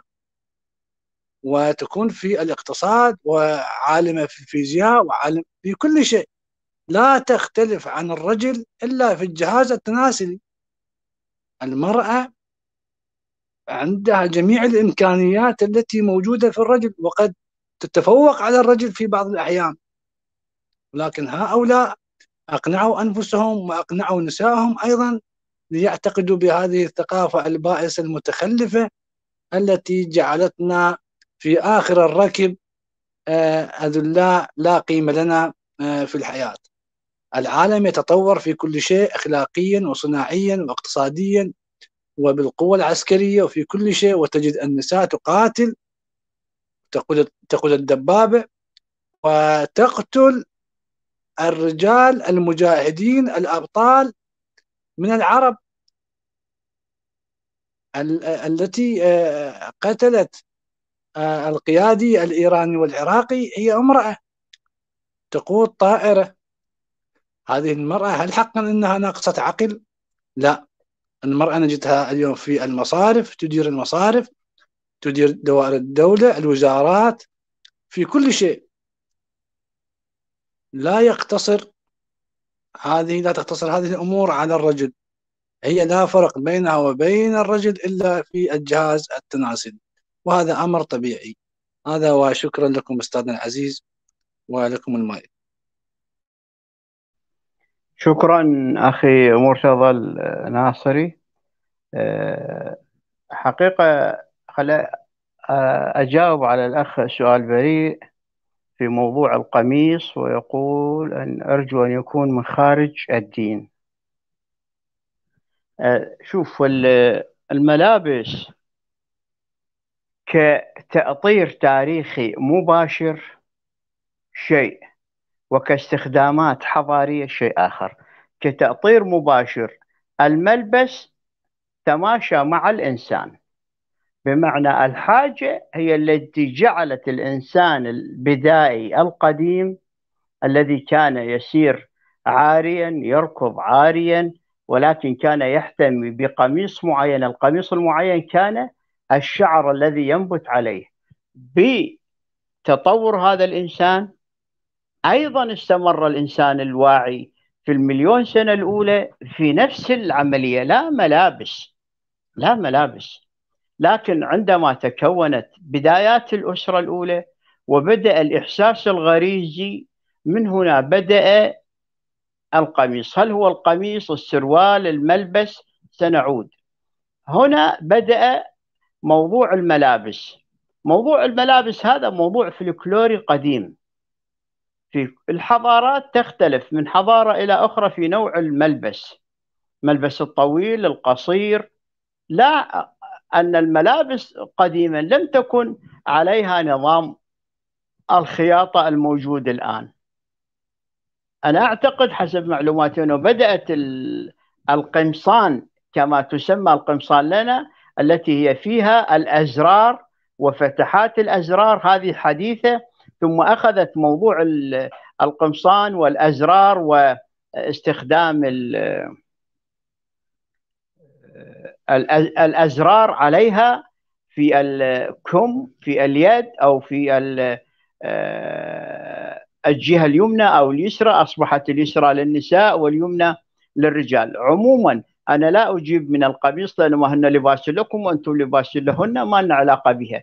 الملابس هي فلكلور تراثي حضاري أخذ تطورا وأشكالا مختلفة إلى أن وصل إلى يومنا هذا ولكن كقميص هو استخدام قديم جدا لا علاقة له بالأديان. حبيت أشير إلى موضوع ربما يكثر السؤال به بشكل كبير جدا وهو لماذا المرأة لا تتزوج أكثر من رجل؟ وأنا لن أجيب أيضا من الدين إطلاقا.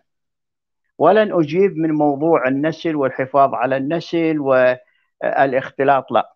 قديما حسب المرحلة التاريخية عندما كانت تحدث الحروب العدد الأكبر من الذين يقتلون هم من الرجال. العدد الأكبر من الرجال. في الحضارة الآشورية القديمة ولأن الإمبراطورية الآشورية كانت تخوض معارك باستمرار فبدأ عدد الرجال يقل. بدأ عدد الرجال يقل. ولذلك ما الذي جعل؟ بدأت المرأة هي التي تقاتل. المرأة هي التي تقاتل. وبدأت حتى تقود الجيوش والدفاع عن الإمبراطورية الآشورية. فحصل اضطراب في العدد السكاني ما بين الرجال والنساء. فأصبح أمام مر أمام كل رجل أربع نساء ومر أمام كل أربع نساء رجل. لاحظ؟ ولذلك في فترة زمنية معينة بدأت المرأة تقتسم رجل واحد. ثلاث نساء أربع نساء ماذا؟ لرجل واحد. ومرة لا. المرأة هي تتزوج من أربع خمس رجال في آن واحد. وهذا التقليد موجود الآن في جنوب شرق آسيا وأعتقد في مناطق التاميل حسب ما أعتقد. وأنا حتى قرأته على اليوتيوب ولاحظت صور لامرأة يتزوجها أربعة أو خمس رجال. ربما تكون للأخ الكبير ويمارس معها الأب وأخوته آه، الجنس. ولا يوجد لديهم نظام بطاقات ولا أحوال مدنية ولا يعرف هذا ابن من وهذا ابن من. في يعني التاريخ القديم كان متعلق أنه يوجد زواج امرأة من ثلاث أو أربع رجال لأنه عدد النساء كان ماذا؟ أقل أو أو بالعكس كلما كثر عدد الرجال أو كلما كثر عدد النساء وهي فردية وعكسية وهذا كان موجود قديما. لأنه لم يكن هذه المفاهيم التي تسود الآن هي نفس المفاهيم التي كانت موجودة في مراحل زمنية قديمة. أما اليوم فهذا النظام والحياة اختلفت. أهلا ست لميس أهلا وسهلا. آه، معنا. لا هذه القناة ليست بديلة. هذه قناة مكملة ومساعدة للقناة آه، الأولى. ولذلك فكرة أنه المرأة تتزوج بأكثر من رجل كانت موجودة هذه ولكن كان يحكمها الظرف العسكري لأنه أكثر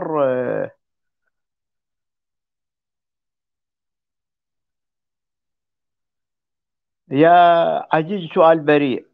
أنا لا علاقة لي بالمعجم ولا أنا أتحدث تاريخ معجم اللغة هذا يعني المعجم حديث. معجم هذا حديث ربما آه، تشير الكتابات إلى أنه في القرن الثالث أو الرابع الهجري بدأت كتابة هذه المعاجم وتبيان أصلها اللغوي والعربي. وهناك من يقول لك أن أصل القميص كلمة فصيحة عربية. لا أنا أتحدث من الجانب التاريخي. أما في الجانب اللغوي أنت تكتب على الجوجل ويخرج لك المسمى في اللغة العربية وقال معجم آه، البلدان أو مختار الصحاح أو أي يعني أي آه، أو لسان العرب يعني تجد فيه المعنى ويقول لا أنا أعرف أنه المعنى يقول لك أنه كلمة القميص هي عربية أصيلة. إذا مو يعني لديك إضافة ممكن تضيفها يا حبذا مثلا إذا تضيف لنا يعني شيء آخر. أما من اللغة العربية أنا أعرف وقرأت قديما أنها كلمة عربية أصيلة. وأيضا اللغات الأخرى الكل يقول أن هذه الكلمة هي كلمة أصيلة يعني. آه، حبيبي يا رسول الله قال سيأتي زمان سيكون للرجل الواحد أربعون امرأة. شوف لو نناقش هذه رجل واحد وله أربعين امرأة. لاحظ نأخذها من الجانب العقلي. هناك رجل يمكن صاحب أموال ويستطيع أن يتنقل من هذه إلى تلك وهذا بأمواله يمارس نزوات هذه نزوات وليست زوجات.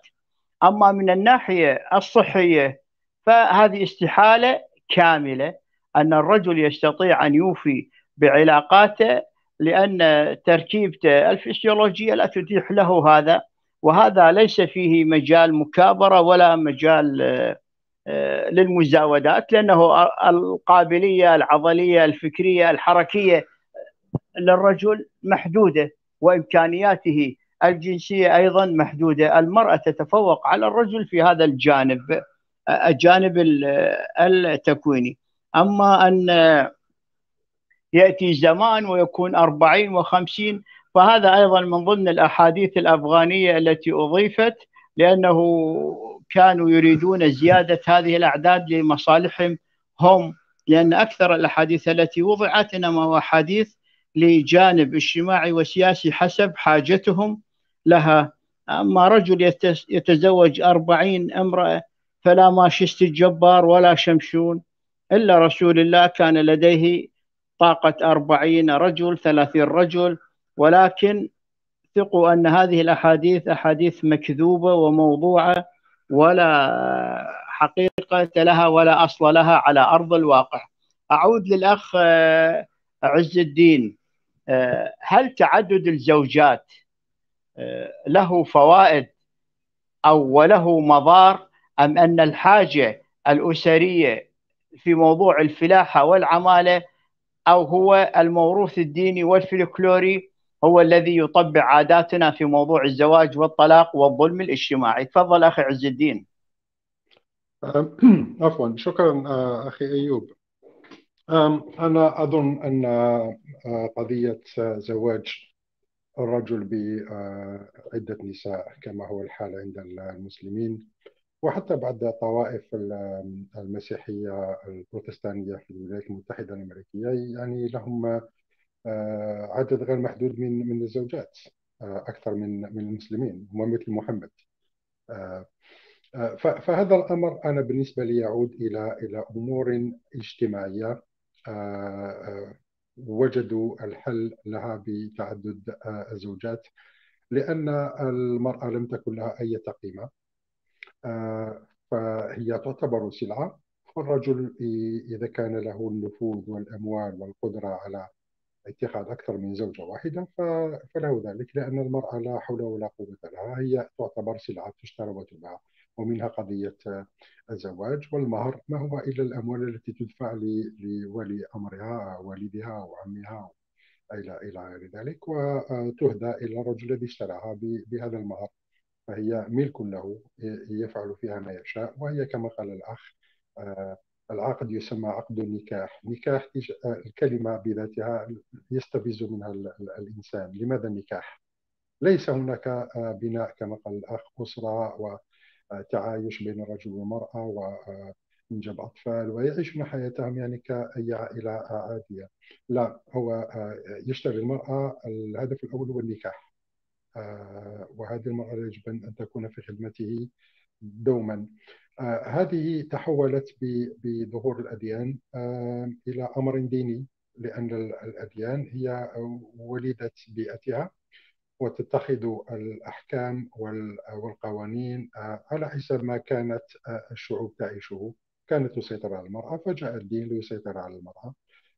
مثال المسلمون مثلا آه، في الدين آه، يجب الطواف والحج آه، هذا من فرائض الدين. ولكن ليست عند أي ديانة سابقة رغم أنها كلها ديانات إبراهيمية. لم بما أنهم يقولون أن أن كل الأنبياء كانوا مسلمين إبراهيم وعيسى وموسى كلهم مسلمون ويوسف وإلى غير ذلك فكيف لم يذهب أحد منهم إلى الحج؟ لم يكن حتى يعرف بوجود الكعبة أصلا. فهذا يظهر أن الحج كان عند العرب وأدخل في الدين اندمج في الدين كما اندمجت معاملة المرأة بالنسبة لهذه القبائل كيف كانوا يعاملون المرأة فدمجوا الأمر في الدين وأصبح مشرعا غير أن محمد احتال عليهم بأنه قرر إيقاف ووضع حد لأربعة نساء لكل المؤمنين وهذا لا يطبق عليه هو الوحيد الذي يتزوج كما يشاء. فإن فإنه حدد العدد بأربعة ولا أكثر رغم أنهم من قبل كانوا آه، يتخذون أكثر من أربعة نساء.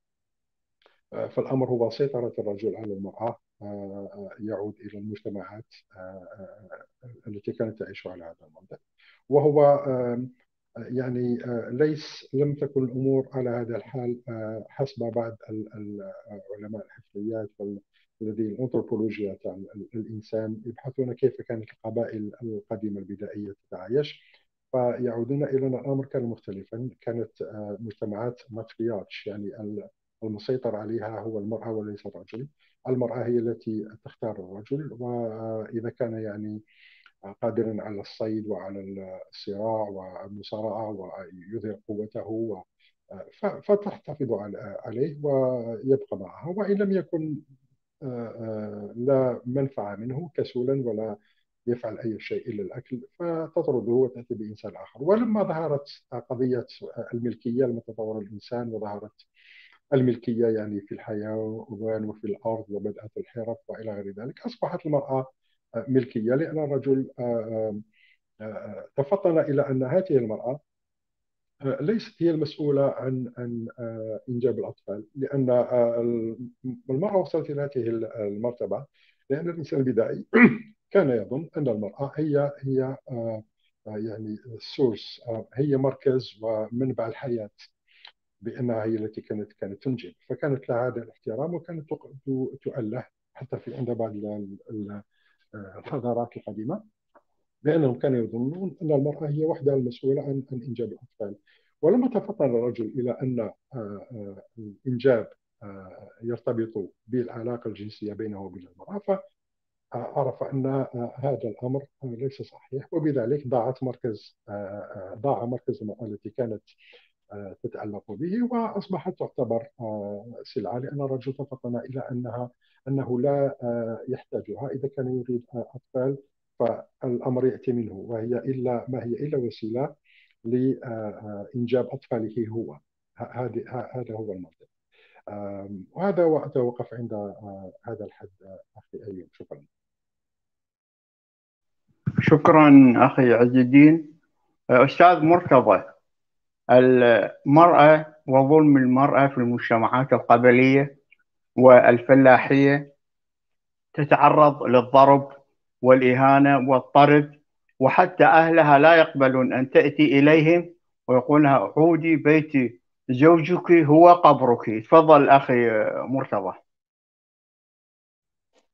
آه شكرا لك أستاذنا عزيز. آه طبعا آه اليوم تغير الوضع يعني عن السابق ولكن أنا عشت هذه ورأيتها بأم عيني. كيف كانت كيف كانوا يعاملون المرأة آه، في مجتمعاتنا الريفية أو القروية. آه، كان لابد عليها أن تستيقظ مبكرا.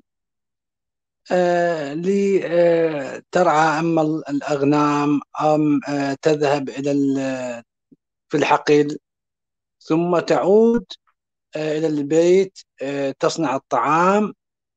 ثم آه، إذا أراد الزوج منها أن يجامعها عليها أن تعتني بنفسها ثم بعد ذلك تعود إلى أن آه، مغيب الشمس ثم تبدأ بالعمل العشاء والأطفال ويضربها وتضربها العمة وأيضا الأخ وأيضا آه، عمها أب زوجها. طبعا والذي عندنا حقائق. الذي لم يضرب زوجته هذا لا يعد آه من آه الأبطال الشجعان طبعا. لابد عليه أن أن يؤدبها أن يضربها على على أبسط شيء وعليها أن تقبل لأنه إذا ذهبت إلى أهلها وقالت لهم أنهم مثلا يضربني لأنهم هم أيضا يضربون. ماذا يضربون؟ أزواجهم.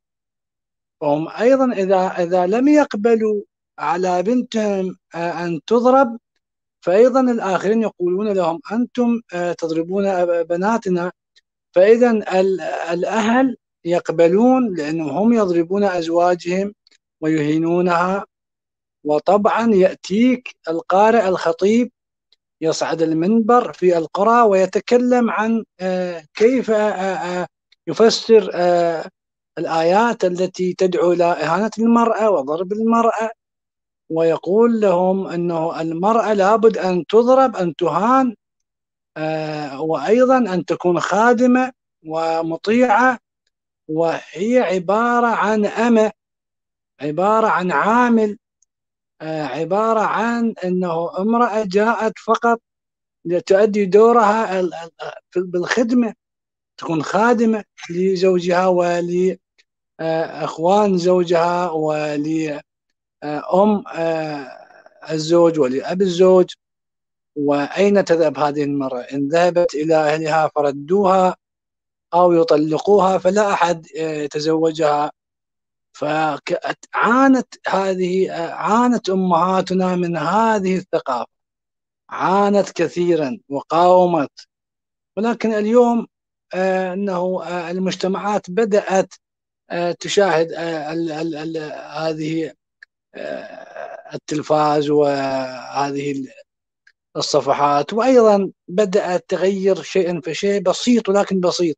لكن موجودة هذه الحالة ولكن ليس كالسابق. هذه الثقافة التي قهرت المرأة آه، والتي جعلتها مستمرة هو النص الديني لأنه النص الديني لا يتغير مقدس ثابت. يعني الضرب بالفتاوى موجودة أنه أنه يجوز للزوج أن يضرب زوجته وأن يهينها وأن وأن إلى أن المرأة نفسها اقتنعت بأن هذا العمل وهذا الفعل آه، حق زوجها عليها. هكذا اقتنعت المرأة على أنه لو ضربها زوجها لو أهانها لو طلقها لو فعل ما فعل بها فتعتبر أن هذا حقه المش المشروع دينيا وعرفيا. آه النساء آه خصوصا التي النساء التي تعيش في القرى هي أكثرها لا تقرأ ولا تكتب. آه طبعا وليس عندها أي ثقافة فقط الثقافة التي استلهمتها من آه، المجتمع آه، التي تعيش آه، فيه. ولذلك لا حول لها ولا قوة. ليس من حقها أن تختار زوجها ليس من حقها أن تحب ليس من حقها أن تتخذ قرار أو تعمل أو حتى يكون عندها أموال لا يمكن لها أن تتاجر أنه عيب مخالف للشريعة مخالف للأعراف. هذه المرأة القروية أكثر إلى اليوم أكثر آه، البشر آه، اضطهادا. أكثر لأنه آه، مسلوب حقها من جميع النواحي. لا يمكن لها أن تتكلم أو تبدي لها رأي. حتى في أولادها حتى على أولادها يعلمون أولاد الأولاد أن لا يحترموا أمهم. أن لا يحترموا الأم. مجرد أن يكبر لابد عليه هذه الأم أن تطيع ابنها. وأن يهينها وأن يتجاوز عليها وأن يقسو عليها وأن لا يحترمها ويمنعها حتى من الكلام لماذا؟ لأنها امرأة هكذا يعلمون الأولاد بدلا من أن يعلموه على أنه هذه الأم المربية التي سهرت الليالي عليه وحملته في بطنها تسعة أشهر وعانت ما عانت في سبيله بمجرد أن آه، يعي يقولون له هذه الأم المرأة لا تحترم المرأة لا تحترم الزوجة لا تحترم الأخت. يعطون للذكر جميع الصلاحيات أن يضرب أخته وهو طفل ولكن لا يسمحون للبنت أن تعتدي على على على الذكر على ابنهم الذكر. فهذه شكات عندها على أنه أعطت وفي, وفي ذهنها وفي ثقافتها التي تربت عليها تعتقد على أنه هذا الذكر أفضل منها وأكرم منها وعليها أن تحترمه وتقدره مهما كان حتى وإن كان مخبولا حتى وإن كان مخبولا أنا آه، شاهدت أنه أمرأة عاقلة متزنة زوجها أبيها أبوها زوجها لإنسان مقبول. وفرضوا عليها أن تقبل به وأن تطيعه وأن تكون له زوجة. مطيعة له وخادمة له وأن آه كما يسمون هذه قسم ونصيب. هكذا يقولون هذه قسم ونصيب. عليك أن تقبلي بهذا الشخص. والكثير من النساء هربن من أزواجهم في, في القرى. ولكن آه، في نهاية المطاف آه، قتلوهن. إلى اليوم في القرى يقتلن لمجرد أنها تحب. هكذا يعاملون المرأة. فهي بين النص الديني والثقافة آه ثقافة القرى المرأة تعاني. آه، ليس عندها أي منفذ من هذه الثقافة. من هذا المجتمع إلا القبول والرضوخ له وأن تقبل به على مرض. تتحمل الأذى والمهانة لكي تعيش لكي تأكل لقمة عيش. إلى أين تذهب؟ المجتمع بأكمله آه، يقف آه، ضدها. وحتى مع الأسف الشديد حتى القانون أيضا يعطي للرجل آه، الأحقية والأسبقية والأفضلية وأيضا يعطيه جميع الصلاحيات فهم يتفضلون عليها. إذا طلقها زوجها يعطوها بعض الأغراض. ومع الأسف الشديد القانون الوضعي هكذا ينص على هكذا أمور. المرأة يعطوها شيء بسيط. شيء بسيط آه، المرأة هي قيمة إنسانية. المرأة هي أمنا المرأة يجب احترامها أكثر من الأب. ولكن الثقافة الدينية والثقافة المجتمعية القروية قهرت هذه المرأة وظلمتها واضطهدتها وجعلتها آه، بعض الأحيان أنا أسمع من النساء المضطهدات يقولون يا ليت لم نخلق يا ليت آه، لم نعيش آه، في أوساطكم. مما يعانن من آه، بسبب هؤلاء الرجال. من, الذي أعطى الصلاحيات لهذا الرجل؟ ومن أعطاه الأفضلية؟ ومن أعطاه الولاية عليها؟ ومن أعطاه أن يتحكم بها وأن يتصرف بها وكأنها سلعة؟ هل تعلمون يا أخوتي والدكتور يعرف أنه كان إذا أحد القبائل قتل آه، من قبيلة يعطون ضمن الدية نساء نساء يعطون ضمن الدية امرأة أو امرأتين أو ثلاث. فيعطون هذه النساء هذه الفتيات الصغيرات يعطونها لأخ المجني عليه أو أو أو القرية أو المنطقة. فهؤلاء هم آه، يزوجونها لمن يشاءون من أولادهم. وتضرب وتهان ولا آه، تتكلم ولا تعود إلى أهلها ولا تتطلق.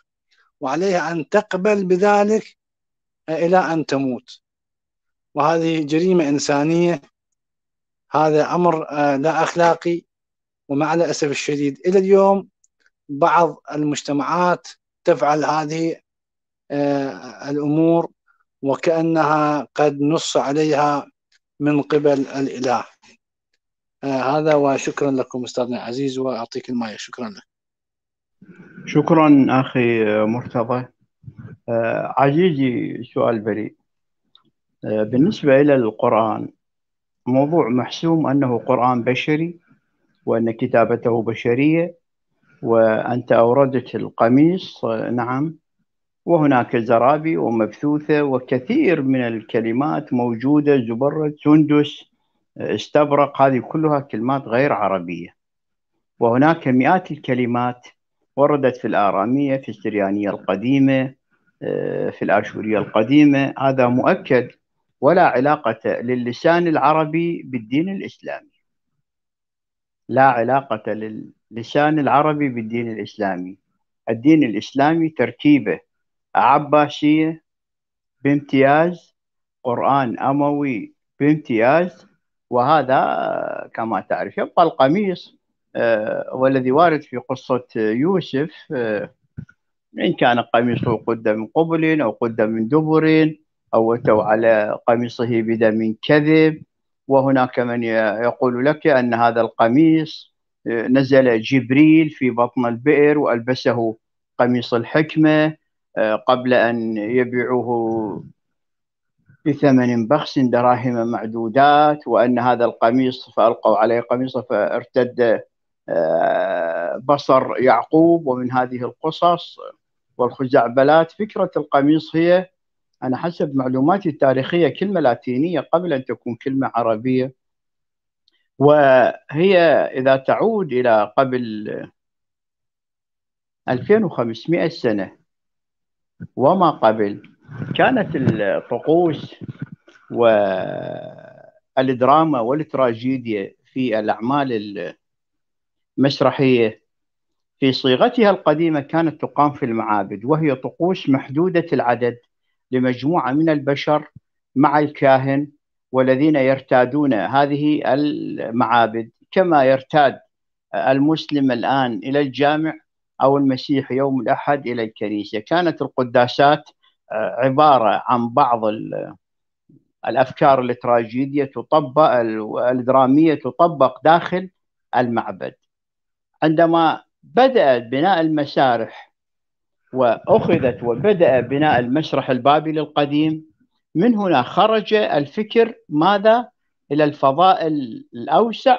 من هنا بدأ الدخول الملابس والقميص والأزرار وما فأنا نعم أيدك أنه فكرة القميص والملبس لا علاقة لها باللغة العربية إنما هم في العربية يقول لك السروال أو الجلباب أو آه، يعني الغطاء. الرأس يبقى موضوع الظلم الاجتماعي. هناك حد فاصل. من 2500 سنة إلى اليوم شيء وما قبل 2500 سنة إلى الماضي البعيد شيء. قبل في الستة آلاف سنة الأولى المرأة شيء والمرأة انتكست قيمتها العليا بظهور الأديان وهذا واضح جدا لأنها أصبحت درجة رابعة وليس درجة ثانية على الأقل في التوراة اللعينة هي التي كرست فقه النجاسات آه، إلى يومنا هذا أخذ من دين إلى دين ولكن فقه النجاسات الذي ورد في التوراة وشرحناه سابقا كثيرا وفي تفاصيله ونجاسة المرأة آه، المرأة النفساء المرأة التي آه، تلد سقطا ميتا. نجاسة المرأة وهي تلد طفلا ولدا أو تلد طفلة آه، بنتا. وهكذا فالظلم في التوراة أيضا تعطى مع ملكية البيت. تعطى مع ملكية البيت ولا يحق لها أن تتزوج أيضا خارج البيت. أما آه، في الإسلام أيضا المرأة تحولت آه، آه، كما قلنا العين بالعين والسن بالسن والعبد بالعبد وال... حتى المرأة ماذا؟ العبد بالعبد. هنا في المجتمع القبلي في فترات ساد فكر القبيلة على فكر المجتمع لأن المجتمع تحكمها الآداب العامة والأعراف والتقاليد الأفكار الدينية. في فترة من الزمن كانت المرأة تعطى أربع نساء بدل المرأة الواحدة التي يحدث هناك خلل اجتماعي. أما هذه المرأة يعتدى عليها أو تهان أو تضرب وكذا بين قوسين يسمى مربع.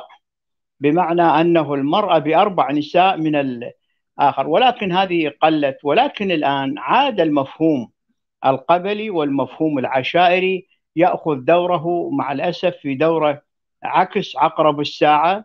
بدأ المجتمعات تدور دورة عكس عقرب الساعة. يبقى الظلم الاجتماعي. نعم البيئة الحاضنة آه، الموروث يلعب دورا ولكن آه، التعليم والثقافة العامة أيضا تلعب دور في البناء الاجتماعي الأخلاقي وتنظيم السلوك الإنساني. فيبقى الموضوع نسبي موضوع ما بين حركة المجتمع وال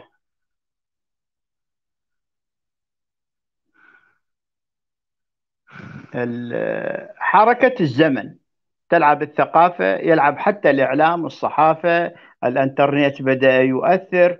ولكن يبقى بعض السلوكيات لا زالت. المرأة تفضل أن يكون أهلها هم الذين لديهم الحظوة في البيت وتتضايق إذا من آه، أحد من جهة الزوج يحضر. وربما الزوج أيضا يفضل أن يكون الموجود مع أنه أقل من المرأة يفضل أن يكون أهله.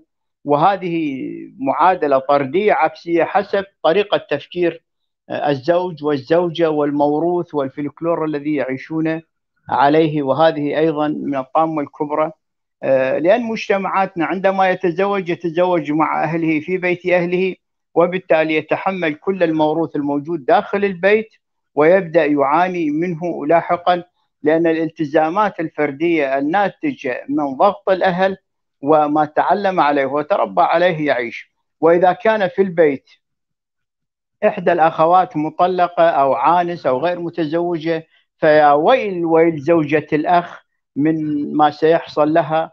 والحقيقة يوجد كثير من القضايا الذي يريد أن يطلع على مشاكل المجتمع والقضايا في هذا الاتجاه فهي قضايا كثيرة جدا ولكن يبقى الظلم الاجتماعي هو مبني على الثقافة والتربية والتنشئة والسلوك والعادات والقيم ونظام الإدارة وقانون الحقوق المدنية في أي بلد.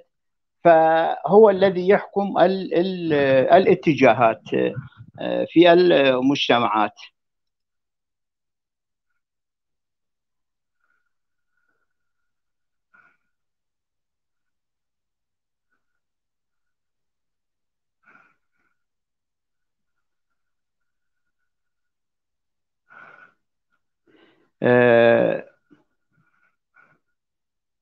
أنا كنت أتأمل أنه مشاركة نسائية ولكن لا أعرف مع أنه الموضوع يهم المرأة بشكل كبير جدا. آه، أين هي عائشة الحسيني؟ اختفت كانت تريد أن تشارك وأبلغت الأخ سمير برغبتها بالمشاركة في الموضوع. يبقى فلسفة النظام الاجتماعي هي التي تلعب دورا كبيرا في أهلا أخي رشيد الإدريسي أهلا وسهلا. يبقى فلسفة النظام الاجتماعي هو الذي يسود ومعيار الحق والباطل ما بين ظلم المرأة واعتداء المجتمع عليها وما بين فلسفة المجتمع.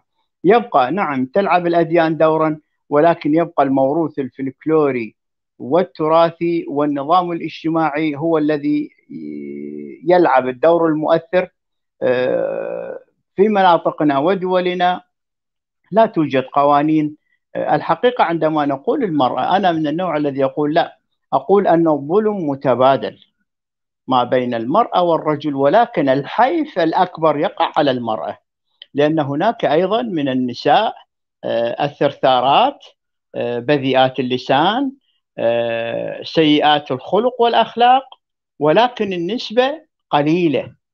قياسا إلى الفقه أو الفكر السلطوي الذكوري هو أكثر تنمرا وتشددا من المرأة لأنه الفكر الغالب الفكر الذكوري هو الفكر الغالب. ولكن هل هذا يعني أننا ننزه النساء؟ لا إطلاقا. هناك نساء أيضا يعثن فسادا ولا يحترمن القيمة العليا للعلاقة الإنسانية. ولا يقمن بواجباتهن بالشكل الآخر نساء متمردات آه، جدا. ولكن هناك أيضا نساء طيبات جميلات آه، ولهن حس مرهف ومشاعر إنسانية ووجدان. إذا العملية هي نسبية ولكن نسبة الفكر السلطوي هو الذي يغطي على آه، طريقة التفكير الإنساني ويؤثر بشكل إيجابي وسلبي حسب نوع وطريقة آه، التفكير. تفضل أخي عز الدين المايك معك شكرا أخي أيوب. لو ننظر إلى حالة المرأة في في المجتمع الإسلامي يعني الأمر آه، وصل إلى حد آه، لا, لا, لا يحتمل. حدث هذا آه، منذ سنوات آه، قليلة. حدث في في إحدى قرى باكستان. كان هناك فتى له علاقة مع فتاة من من تلك القرية فمارس الجنس وكشف أمرهما فاجتمع شيوخ القرية كلهم و تشاوروا وتدبروا الأمر وأتوا بفتوى آه، العمل بالمثل يعني أنهم أتوا بأخت الفاعل هذا الشاب وأتوا بأخ آه، الفتاة التي مارست الجنس وأمام شهود آه، أمروا هذا الفتى أن يمارس الجنس على تلك الفتاة حتى يتوازى الأمر ويكون العمل بالمثل. هذه هي مأساة المرأة في العالم آه، البدوي الإسلامي الذي تثبت كما قلت بظهور الأديان. الأديان سيطرت السيطرة مطلقة على المرأة لم تجعل لها أي يعني أمل في في النجاة. أنا الأمر الذي يحز فيه هو أنه لو عدنا إلى سنوات الأربعينات الخمسينات الستينات السبعينات كانت المجتمعات تتكلم عن بعض المجتمعات يعني العربية الإسلامية مثلا في الجزائر القاهرة بغداد حتى في في أفغانستان في كابول لو تنظر إلى المعيشة واللباس وكيف الناس يتعاملون كان تظن كأنك في في مدينة أوروبية. لا لم يكن هناك حجاب ولا قميص ولا نصف الساق ولا ولا أي شيء. كان الدين رمزيا. أتحدث على بالنسبة لي للجزائر في السبعينات كنت صغيرا وكان هناك سياح يأتون من أوروبا ولم يكن هناك حجاب على الإطلاق. كان هناك زي تقليدي آه، جزائري وكانت ترتديه الأرجح المرأة التي كانت متزوجة أو المرأة الكبيرة في السن. أما الفتيات فتذهب إلى كل الجامعات وإلى المدارس وإلى المعامل كانت ترتدين أزياء آه، كمثيلتها في في أوروبا. ثم جاءتنا النكسة هذه آه، آه، الصحوة الإسلامية من من من آل سعود وأتباعهم. وبدأت تسم فينا هذا هذا السم من جديد وعادت الصحوة وعاد الحجاب وعاد إرادة قيام دولة الإسلام وأدت إلى عشر سنوات من المجازر. ضحاياها أكثر من 100 ألف ضحية. هذه مأساة هذا الدين. والآن لو تذهب إلى الجزائر وتونس أو أي عاصمة من سترى أن المظهر مختلف تماما. لا ترى إلى الحجاب وإلى الإخوة باللحي والأقمصة إلى إلى غير ذلك تخلف وعودة إلى الوراء. أتمنى أن أن آه، يعيش آه، تعي الشعوب التي تعاني من من هذا الضغط. وأن تفكر عقلانيا. وأن تخرج من هذا من هذا آه، الدين الإجرامي. لأن هذا هو السبيل الوحيد. وإلا فسنبقى نعاني ونعاني إلى الأبد. علينا ان نغير الأشياء بأنفسنا. وكما قلت على النساء أن يتخذن المبادرة وأن يقولون كفى من هذا. لا نريد هذه المعيشة على الإطلاق. أتوقف عند هذا أخي وإليكم بعد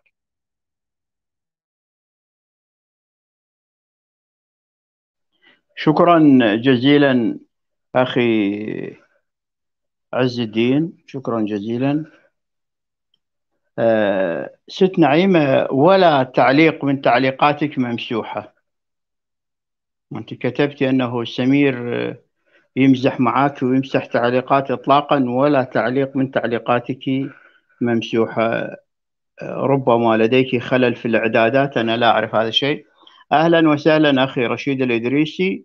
أهلا وسهلا. حلقتنا الليلة نتحدث عن المرأة بين الحق والظلم الاجتماعي. تفضل أخي رشيد. شكرا أستاذ أيوب. تحية للأستاذ عزين تحية للأستاذ مرتضى الناصري. تحية ملؤها الحب والسلام والاحترام لجميع الإخوة الذين يوجدوا والأخوات اللواتي يوجد يوجدن في الشات. تحية للأستاذ سمير أيضا. موضوع دائما يطرح ويناقش من جميع الزوايا وإنما هذا الموضوع قتل أيضا بحثا ولكن طرحه اليوم له راهنية على اعتبار أن دائما ينبعث من الرماد لأننا لم ننجح في إيجاد الحلول آه، والسبل الكفيلة لإنصاف المرأة رغم اعترافنا بدورها آه، في المجتمع ودورها الريادي في آه، تأسيس الأسرة وبناء التنمية جنبا جنبا إلى جنب مع الرجل. السؤال الذي يطرح هل المرأة ضعيفة إلى هذا الحد؟ لم تستطع أن تفرض أو تأخذ حقوقها آه، مع الرجل من المنظومة القانونية لأن لا نتكلم هنا عن الرجل باعتباره إنسانا ولكن هناك منظومة قانونية هي التي يحتكم إليها الطرفان. هل من يضع هذه المنظومة القانونية هو الرجل فقط؟ أين تكون المرأة عندما توضع القوانين؟ أين ولماذا تسمح المرأة أصلا بأن آه، توضع قوانين هي ضدها؟ إذا الحلول التي وضعناها وإن كانت حلولا آه، آه، ربما آه، تريد أن تصلح من حال المرأة إلا أن الوضع لا زال هو هو فالسؤال المطروح لماذا دائما نحن ماشيين على هذا النهج؟ هل للموروث الثقافي والديني شأن وتدخل في بقاء وضعية المرأة هكذا؟ أم أن الأمر يتعلق بتسييس للموضوع؟ أم أننا ليس لدينا العلوم الكافية والآليات الكافية للتأكد 100% بأن المرأة لها حقوق ولها لها أيضا مكانة إلى جانبنا لا أدري أين يوجد الخلل فنتحدث دائما عن موضوع المرأة. فلماذا لم نستطع أن نبره أن نضع كل هذه هذه ال النظريات وهذه التفك وهذا التفكير وهذه السلوكيات على أرض واقع؟ نريد أن نخلص من هذا الموضوع وننطلق في اتجاه آخر. لماذا يجرون دائما من من الخلف ويسحبون إلى الهوة السحيقة أنا دائما أتساءل وأطرح وأشارك معكم هذه الانشغالات والتساؤلات. وشكرا سيد أيوب.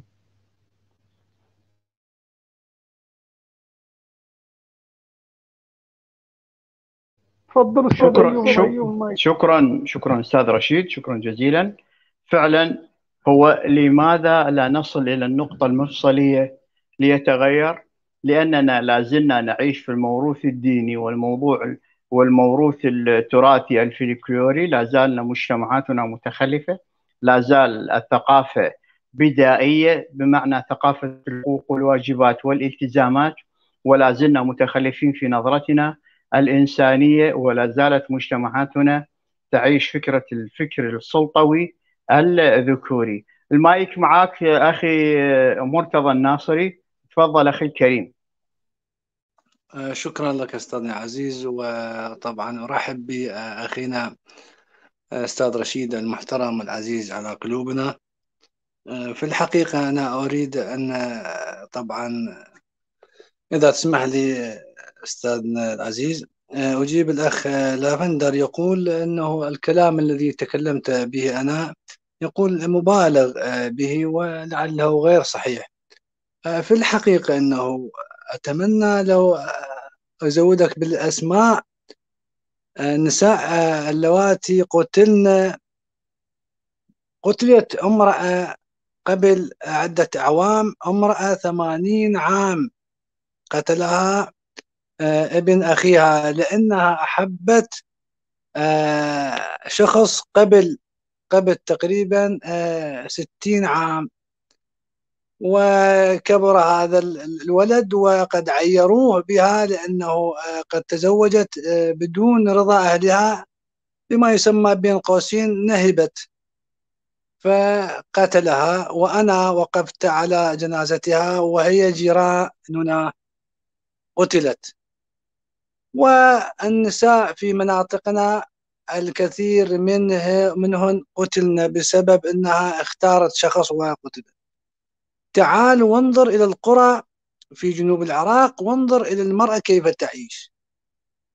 انظر كيف تعيش المرأة وكيف تعاني. لا ترى أنه المدن أنا قلت سابقا كان أشد ولكن اليوم بسبب إنه هذا الإعلام يعني تغير الوضع. ولكن بقي الأمر أيضا فيه اضطهاد. المرأة في في القرى لا تخرج إلى السوق لا ترى من حولها لا لا تذهب إلى الحديقة في في في المدن لا تتسوق لا تشتري ما يحلو لها لا تلبس ما يحلو لها. هي فقط سجينة في البيت وهذا اضطهاد. لا أقول أن الكثير من النساء هن مضطهدات. قد يكون هنالك في في مناطق أخرى يسمحون لها في بعض الأمور. ولكن تعالوا وراء وشاهد بأم عينك كيف إنها سجينة بيتها. لا تخرج إلا للضرورة إلا آه، تذهب إلى إلى الطبيب إلا وأن يكون هنالك ولي أمرها. أنا أعمل في أحد دوائر الدولة بنت القرى عندما تأتي تأتي قطعة قماش. لا ترى الشارع. من الدائرة أنا يوميا أعيش هذه الحالة. من السيارة إلى الدائرة ومن الدائرة إلى إلى السيارة ثم يعود بها. يخاف عليها يخاف عليها أن ينظر إليها أحد. هي لا ترى العالم ما به. هي لا ترى لا ترى الناس. هي محجوبة عن الناس. أليست هذه معاناة؟ ليس. هل ينكر أحد ذلك؟ تعال إلى جنوب العراق وشاهد اذهب إلى أريد أن أسمي اذهب إلى التبايش وشاهد النساء كيف تعمل في الطين وكيف تضرب وكيف تهان وكيف يعاملونها كالحيوان. هذا أنا أذكر لك عينات لا أنكر أنه في المدن في في في في الأقضية والنواحي في المدن هنالك بعض يسمحون لها في في الدراسة. تعال وشاهد البنات الطالبات بمجرد أن تصل إلى الصف الخامس الابتدائي لا يقبل لا عمها ولا خالها ولا ولا أهلها أن أن تستمر في الدراسة. ويعيبون على من يقبلون آه، لبنتهم أن أن أن تستمر في الدراسة. هذه معاناة نحن أنا لا أحس بها. ولكن أحس بها متى؟ عندما يغلقون علي الأبواب أحس بهذه المعاناة. عندما يمنعونني من التصرف في أموالي وأن أشتري ما أريد وأن أذهب وأعمل وكذا في في إرادتي وفي ضمن ضمن ضمن, ضمن إرادتي أحس بالمعاناة. أنت لا تحس بإنسان جالس من الصباح إلى الليل في البيت.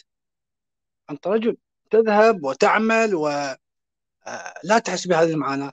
أنت تعود إلى البيت رجل يعود إلى البيت يجد زوجة تخدمه تقدم له الطعام لا يحس بمعاناتها. هي في داخلها تعيش المعاناة. أنا لا لا أقول الجميع. قلت قبل كان أكثر اضطهادا ولكن اليوم الوضع قد تحسن بعض الشيء. ولكن هذه الظاهرة موجودة. أتحدى أنه امرأة في القرى أن تحب شخص وتتزوجه. إلا أن تقتل. إذا علم بها ابن عمها وابن قبيلتها يق... يق... له الحق أن يقتلها. وقتلنا الكثير. لماذا؟ لأنه تحب. الحب ممنوع. الخروج خارج الدار بدون أي سبب أو بدون أي مبرر هذه تضرب وتهان ابن عمها يضربها وابن خالها والقبيلة كلها تضربها وتلوم عليها. هذه معاناة. لا ننكر ذلك. والحلقة معدة لهذه الأمور. لتناقش هذه الأمور لتجد حل لهذه الأمور تثقف الناس على هذه الأمور لتقول للناس يا أيها الناس إنه لا فرق بينك وبين المرأة إلا في الجهاز التناسلي. وكما قال دكتور أيوب الكثير من النساء مسيئات. أيضا يفكرن كما يفكر الرجل. لا تفكر ببناء أسرة ولا ببناء مجتمع ولا يهمها إلا الجهاز التناسلي أيضا. ولكن نحن نريد أن نقول في الثقافة العامة يجب أن الناس المجتمع يقبل المرأة يقبل المرأة على أنها أم وأخت ومربية ولها دور في الحياة ومن حقها أن تعيش حياتها بشكل طبيعي تمارس حياتها بشكل طبيعي. وليس من حق أخيها ولا أبيها ولا ولا أن يمنعها من أن تعيش حياتها بشكل طبيعي ضمن الأسس الأخلاقية والقيم الإنسانية. أنت ترى أنه المرأة التي يرونها آه، تذهب إلى المدرسة هذه يعاب عليها. يقولون هذه ليس لها أخ يمنعها ليس عندها أب يمنعها. لماذا يقبل بهذا الاستهتار؟ وأنت تشاهد على ال social media كيف أنه المشايخ يصرخون ليل نهار غطوا نساءكم كثر الفساد كيف يحضرن إلى المحافل الغنائية وغيرها؟ هم يريدون يحاولون أن يجعلوا من المجتمع آه، مجتمع منغلق. لا يقبل آه، للمرأة أن تمارس حياتها بشكل طبيعي وعليها أن تبقى جليسة بيتها إلى أن تموت إلى أن يتوفاها الله وتذهب لتكون هنالك حورية لينكحها أحد آه، الأئمة الصالحين. هذا وشكرا لكم أستاذنا علي شكرا لكم.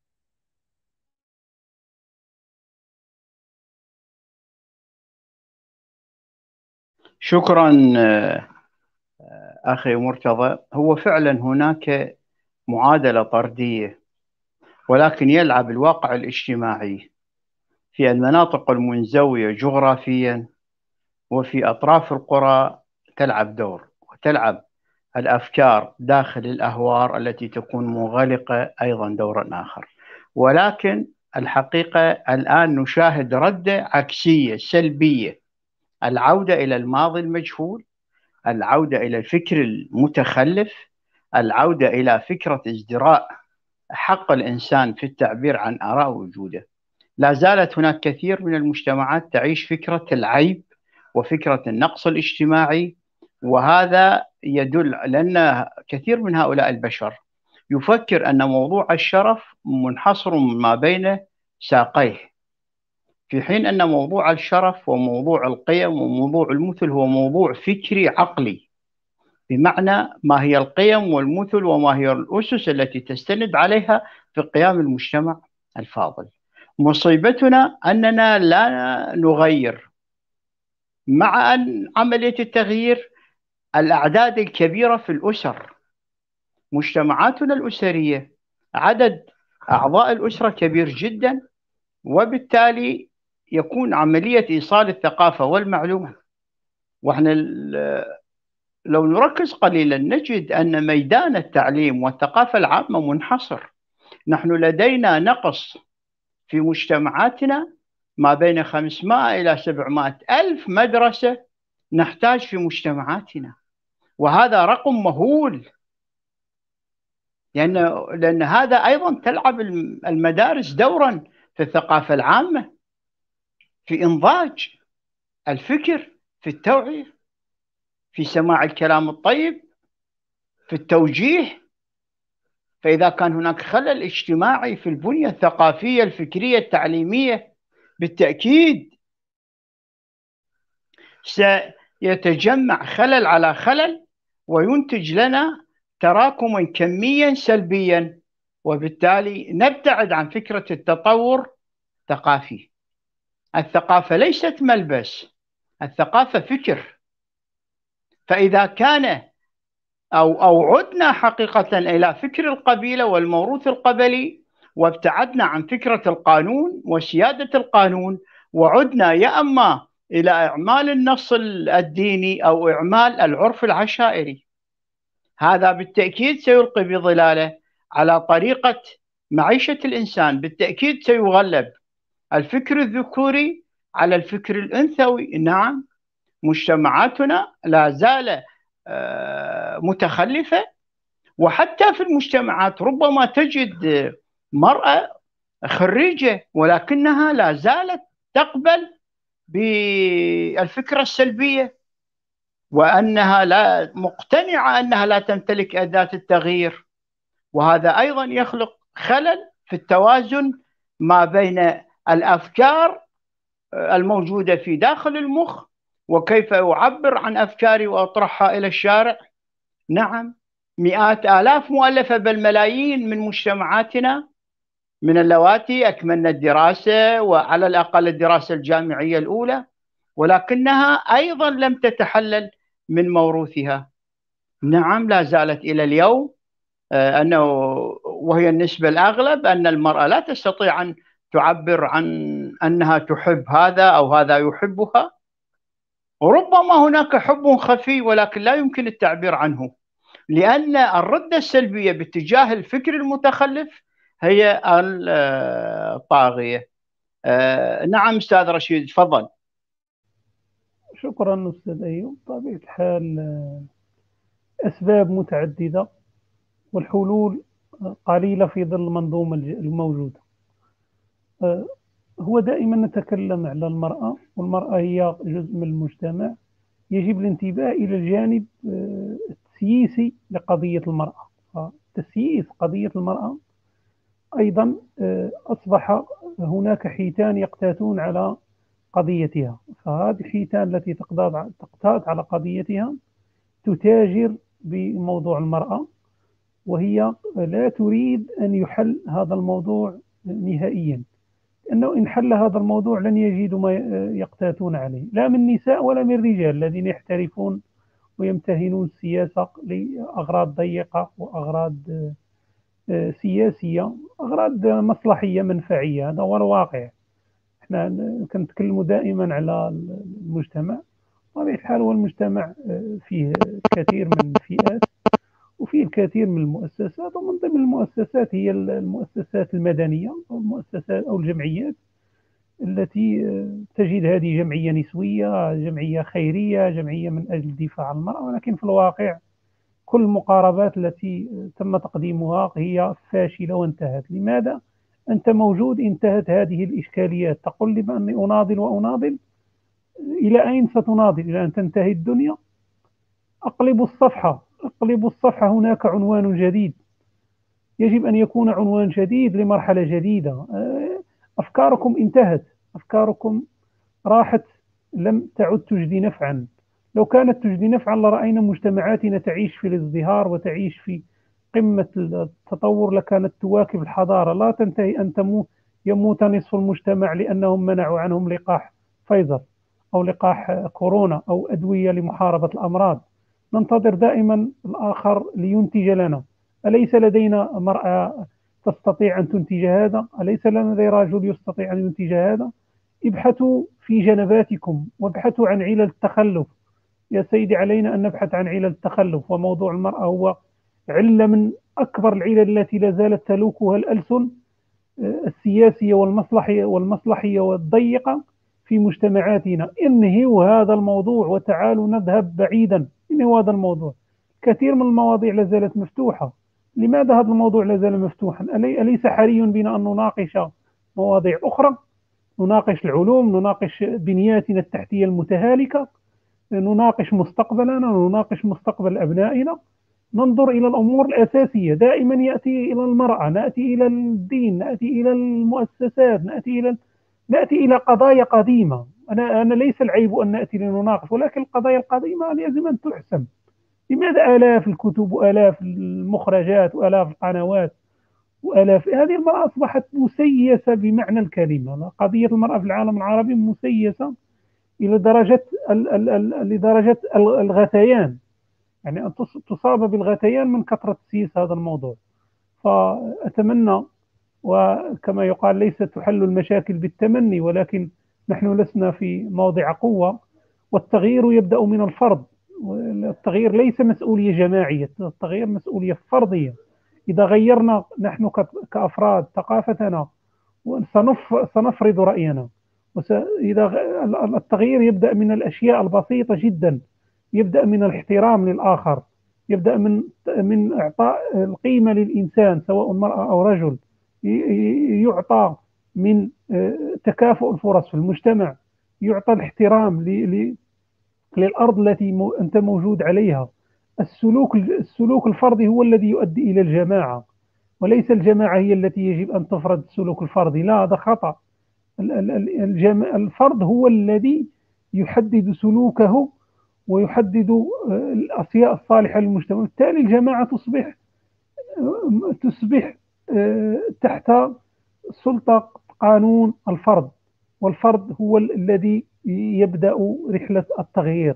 لا ننتظر من الفوق ننتظر البناء الفوقي.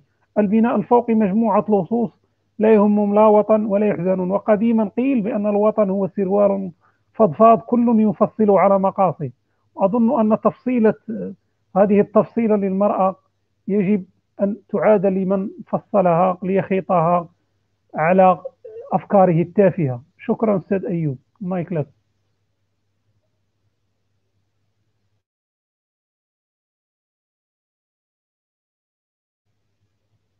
تفضل أستاذ أيوب أظن.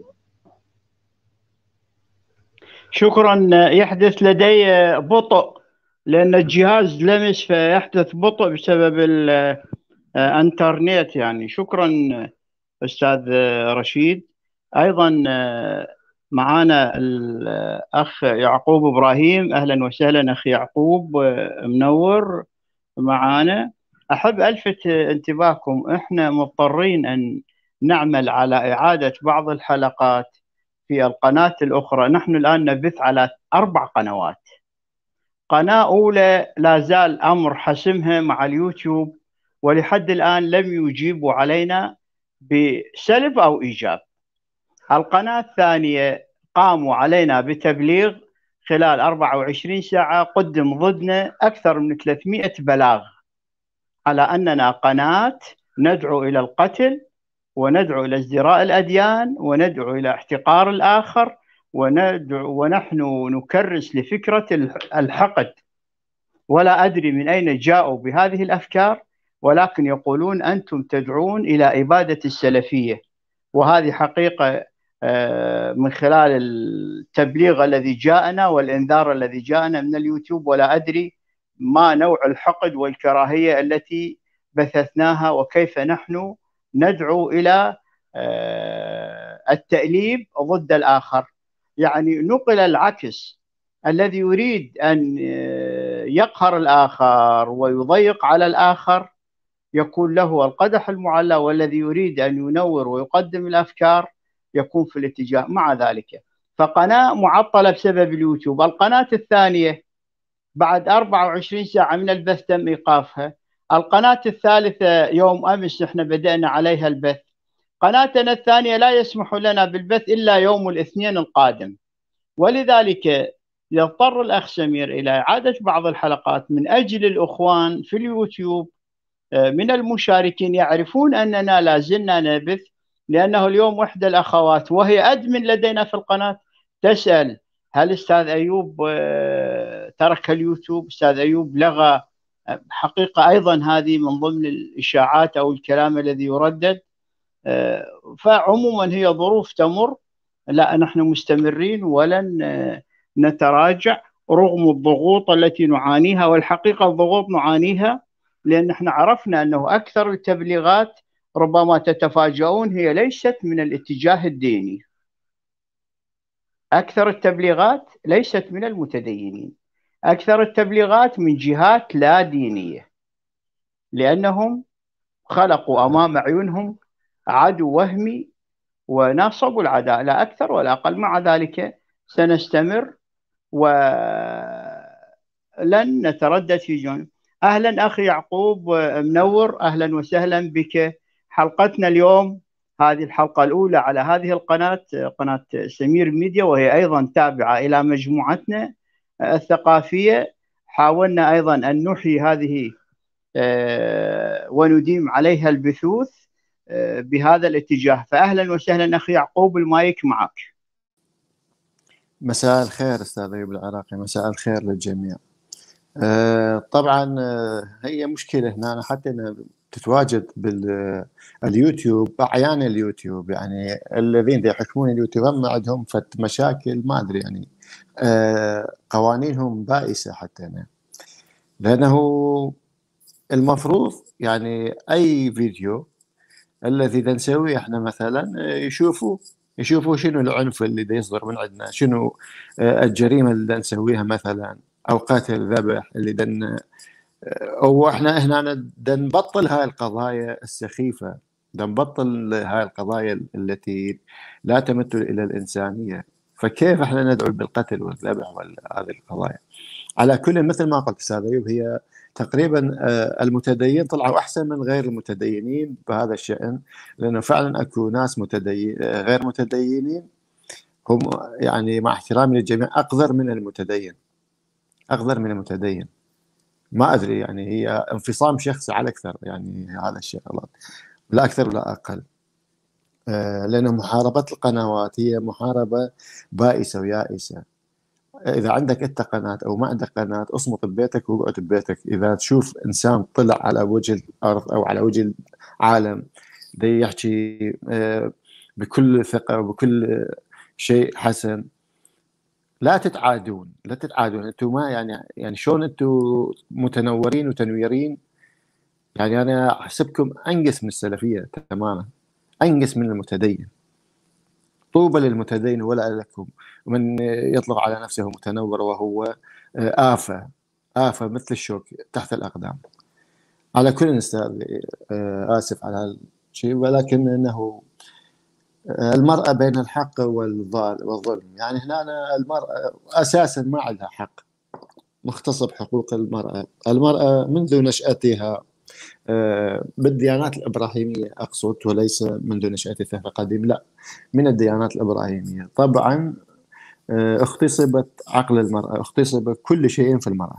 ما بقوا شيء أفكارها كسروا ساقيها كسروا أجنحتها دمرت المرأة. يعني أصبحت المرأة لا شيء في مجتمعاتنا. آه، لذلك أطلق عليها جميع المواصفات القذرة التي تطلق على المرأة. ولكن هذا الإنسان الذي يطلق على هذه المرأة بهذه ينعتها بالكذا وكذا وكذا هذا إنسان آه، طبعا مخرب. إنسان أدخله آه، هذه القوانين إلى بيته أو إلى مجتمعه أو إلى دولته. طبعا مزروعة هي قذارة في قذارة وصاخة آه، لا أعلم آه، كيف استوعبها ولكنها هي تستوعب إلا بأمر واحد تلتصق بالدين وبالله. ما لم تلتصق بالله ما كان الإنسان بحاجة لها. المشكلة هي في الدين. الديانات الإبراهيمية إذا نشوف من بداية الأمر يعني من بداية إبراهيم هو ذات نفسه أبوهم إبراهيم. يعني لا شيء المرأة عنده. حسب الآية التي تقول يعني وكانت أختي آه، هي زوج صارت لي زوجة. هنا هو باعها علما لفرعون باعها لأبي مالك. الطامة الكبرى اجى ابنة من وراء نفسه يعني كانت سلعة يعني المرأة. يعني عندما راح الفرعون وهي عمرها 85 سنة أو 80 سنة ما تقول لي هذا فرعون ما نساء نساء مصر ما ما كفته إلا على هاي المعتوهة اللي جتي. آه، سارة خانم. هاي اللي 80 سنة ما كان عنده إمبراطور بعظمته وبعظمة مصر. ما عندهم نساء كانوا خلص النساء. جيتي على هاي العوبة ولكن هي السردية كلها. طبعا من كتبها هو الذي صيغها وأرادها كما تكون. يعني مثل الفيلم الذي المخرج والكاتب يريد يمشي يمشي. لا حاجة لفلان ولا فلان. طبعا المرأة آه، مغتصبة عقلها مغتصبة حتى جسدها آه، بالأكمل. وأصبحت المرأة لا شيء في مجتمعاتنا. ومع العلم المرأة هي آه، نصف المجتمع أو الأكثر من نصف المجتمع لنعتبرها أيضا.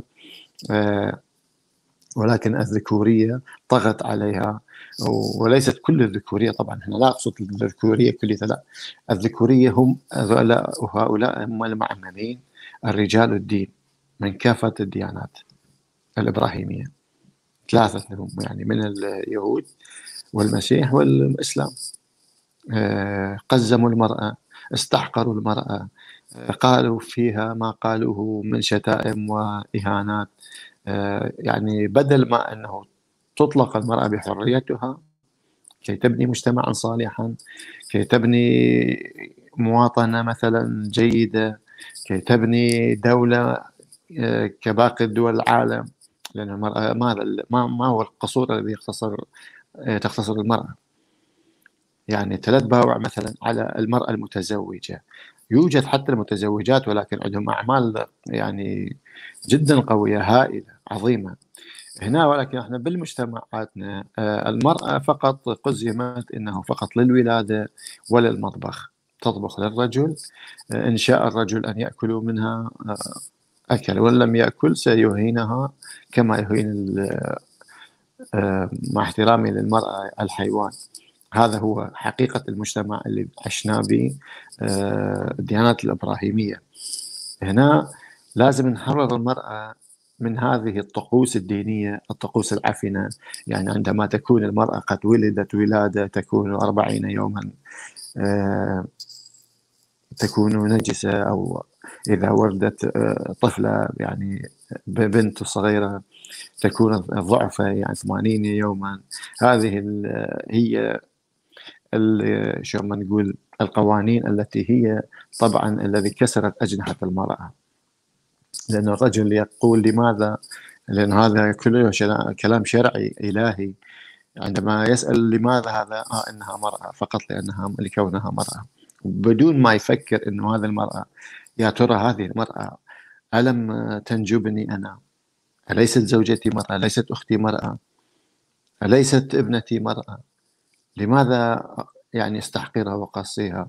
ولكن مع الأسف أن الآباء الأولين آه، تركوا وأهملوا هذه القضايا واليوم الذي ناكل من آه، يعني نتاجاتهم أو من درجة غبائهم آنذاك. اليوم أكلناها بما يعني يلزم منها. يعني أكلناها بشكل قوي جدا من هذه الدروس التي أعطونا لها إن المرأة كذا وكذا وكذا. آه، لو كنا معطين للمرأة القيادة مثلا لا أقول يعني قيادة كلها القياده العامة لا يعني القيادة التي مثلا حسب الاستحقاق. كامراه امراه متفوقة درجاتها 95% 85% يجي رجل 75 آه، نعطيها للرجل. ما نعطي للمرأة. ليش؟ لأن هي هي ذكورية. هذا الإله المعتوه هو ذكوري.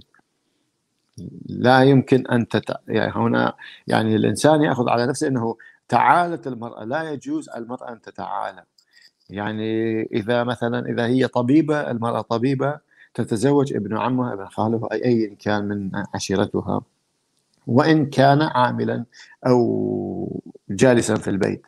ربما يكون جالسا أو آه، راعي غنم مع احتراماتي لرعاة الغنم ولكن هذا لا يعني إحنا شو ما نقول مثلا نعيرهم. لا هذا يعني بس درجات هي موجودة. يعني المرأة آه، لا يجوز إذا ما حبتها الرجل. آه، تؤخذ وبالقوة تعطى لهذا لكون ابن عمها أو ابن خالته أو من الأقرباء أو من العشيرة قد تكون. لا هنا قزمت المرأة راسا هنا نريد إحنا المرأة تشوفها آه، بمستوى عالي يعني على هيئة رئيسة الوزراء ولما لا لتكون أمرأة. آه، تحكم البلد لما لا؟ فلتحكم إذا كانت آه، طبعا إحنا مو إحنا المشكلة آه، الفردية يعني الحكم الفردي هم جابت لنا مشاكل أستاذ أيوب.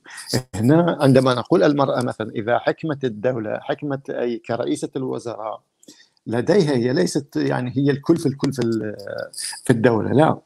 هي موظفة وهي رئيسة الوزراء ولكن عندها مستشارين عندها رؤوس أعيان عندها مجلس الشيوخ مثلا عندها حكماء. ادباء عندها من كافة المفاصل أطباء كل شيء عندها آه، يعني هيئون لها الطريق بكافة المستويات.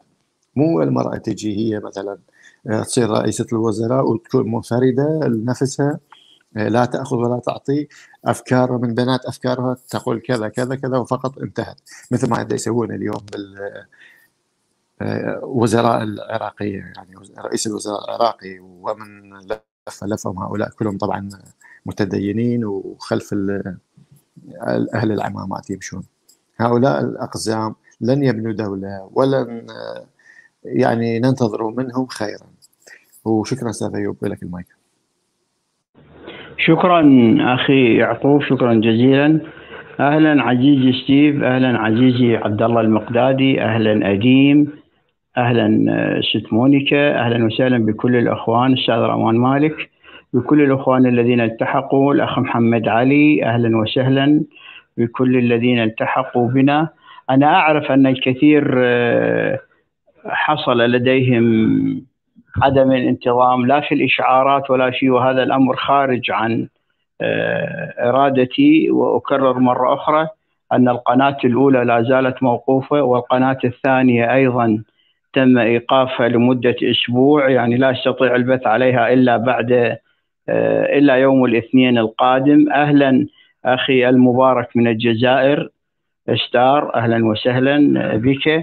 وقناة أمس أيضا بثينا عليها آه، بث أول أمس بث مباشر. وهذه القناة أيضا القناة الرابعة نبث عليها هذه الليلة. ونتأمل أنه نستمر ولذلك نضطر مرات إلى اعاده بعض الحلقات حتى يقوم اليوتيوب بعرض القناة آه، من أجل أن ينتبه آه، لها الأخوان ويلتحقوا بنا لأن لا زالت لدينا الآلاف لم آه، يلتحقوا بنا. عموما موضوع الوقت وتعود الأمور إلى مجاريها.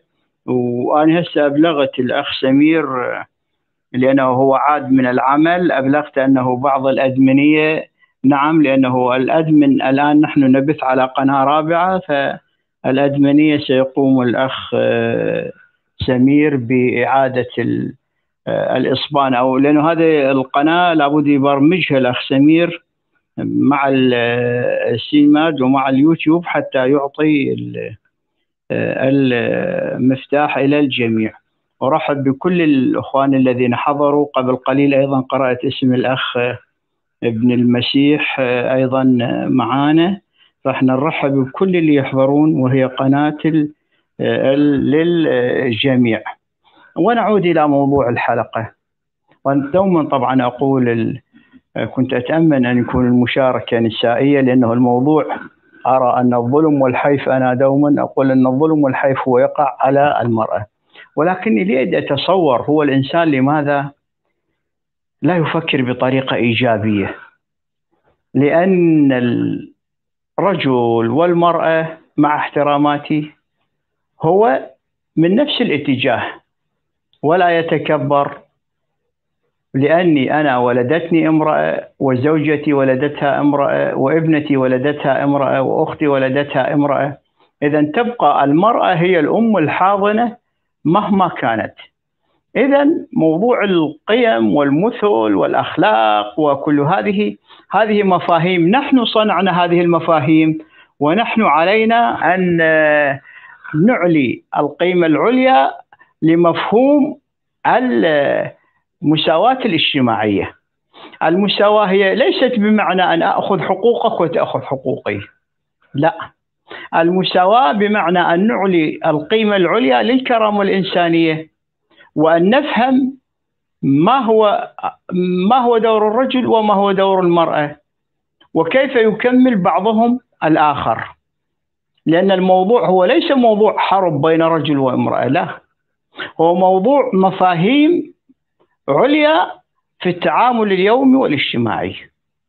لأن هذه الحياة لو تحسبها بالمعيار الحقيقي لو أنت تعيش سبعين سنة فعمر حياتك الفعلية في علاقتك مع زوجتك مع والدتك مع بناتك مع أخواتك مع المجتمع. ثقوا اجلس في ورقة وقلم وأحسب علاقتك علاقتك الإنسانية. من سبعين سنة لن تحصل على علاقة إنسانية لأكثر من سنتين إلى ثلاثة في التفاعلات أقصد وليس في العد. لأن حياتك ما بين نوم وما بين عمل وما بين حاجات تقضيها هنا وهناك والذهاب إلى الطبيب أو إلى التسوق أو وسائط النقل والعمل في دائرة والنوم والحالات المرض والمناسبات. إذا أنت علاقتك مع زوجتك أو بنتك أو والدتك هي لا تعدو بضع سنوات. والظلم عندما نتحدث وليس فقط أنت تظلم زوجتك ولكنك ربما ترى أن أبيك قد ظلم والدتك أو أن زوج أختك قد ظلمها أو أن أختك سيئة مع زوجها أو أن ابنتك ليست صالحة مع زوجها أو أن ابنتك تتعرض للظلم الاجتماعي. فهي العملية متبادلة ضمن الأسرة والأسرة بالتأكيد فيها زوج وزوجة أب وبنت أخ وأخت أب وأبناء أعود بالمايك إلى الأخ عز الدين تأخرنا عليه. تفضل عزيز عز الدين المايك معك.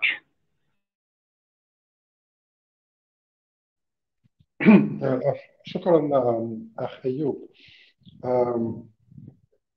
أنا كما قلت سابقا المرأة استسلمت ورضيت بثوب الضحية. تقبلت كل هذه الأحكام التي فرضها عليها هذا الدين اللعين. وهي عقول النساء يعني جمدت وسخرت لعبادة الزوج لأنهن ربينا منذ منذ نعومة أظفارهن على أن المرأة ليست كالرجل المرأة ضعيفة المرأة سبيلها الوحيد للفوز بالجنة هي إرضاء زوجها وخدمته. لعل وعسى أن أن يرضى عنها وأن تدخل الجنة. هذا هو دور المرأة. هذه هي التعاسة التي تواجه المرأة. ولكن الأمر العجيب هو لما تتكلم مع النساء المسلمات وتقول لهن هذا هذا الكلام لا أنت أنت لم تفهم الإسلام. كرمنا المرأة ضعيفة لها العاطفة لا يمكن أن تشهد لا يمكن أن تحكم لا يمكن أن وكذا إذا كان الضحية الأولى من هذا الدين راضية بحالها فماذا يمكن أن نفعله؟ المرأة الأوروبية لما في مطلع القرن العشرين تظاهرت وناضلت وكافحت وضربت وقاست ولكنها فرضت نفسها وفرضت حقها في أن تعتبر إنسان كالرجل وأن يكون لها الحق في الانتخاب كالرجل المرأة الأوروبية صارت الأمر المرأة الأمريكية صارت ونضلت وحققت مكاسب آه، ترى المسلم يقول لك المرأة في المجتمع الغربي آه، وسيلة آه، دمرت وحطمت وليس لها شرف وهي سلعة تشترى وتباع. لا يا أخي هذا كذب المرأة الأوروبية كما قال الأخ أيوب المرأة ليس كل النساء طيبات وجميلات وعادلات هناك نساء خبيثات أستاذ آسف على المقاطعة بس قول على الاستماع يقولون صوتك خفيف ممكن تعلي صوتك آه شوية نعم هل هل هذا أحسن؟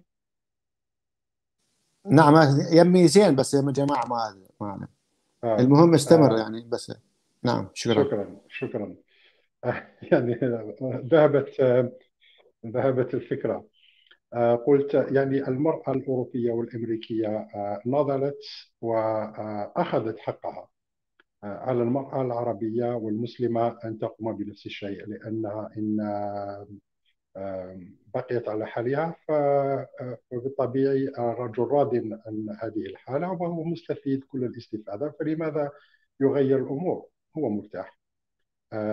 آه، والإنسان بطبعه إذا إذا ما تعود على حالة آه، خاصة إذا كانت له فيه آه، فيها السيطرة على على الناس آخرين فمن الصعب جدا أن أن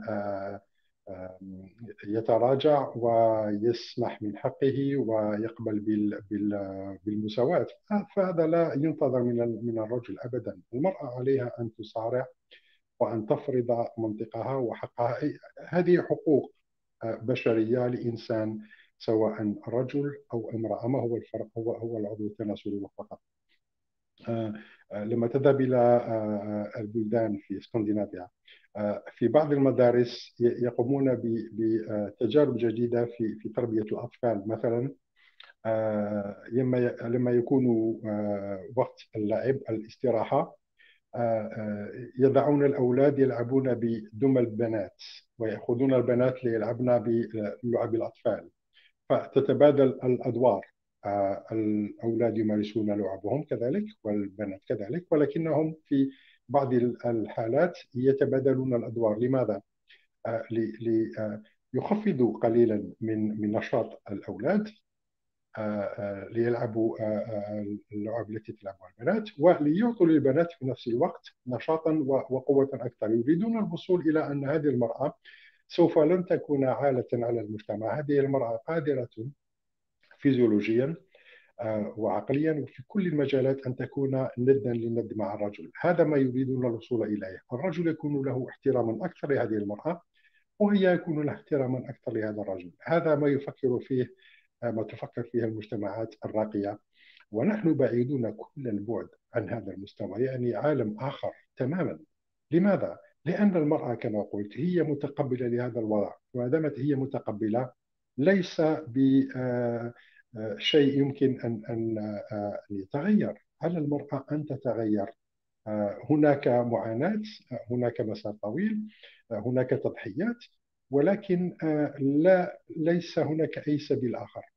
فالأمر بأيدي النساء المسلمات والعربيات. شكرا أخي وإليك المايك.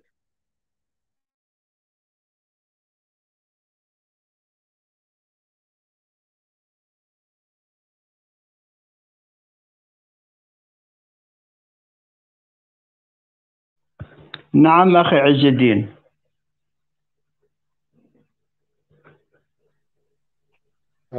أكملت المداخلة أخي أيوب وأعيد إليكم المايك. شكرا. نعم هو أنا أنا أقول لك نعم يعني فهمت. أخي يعقوب. بالطبع. أخي يعقوب.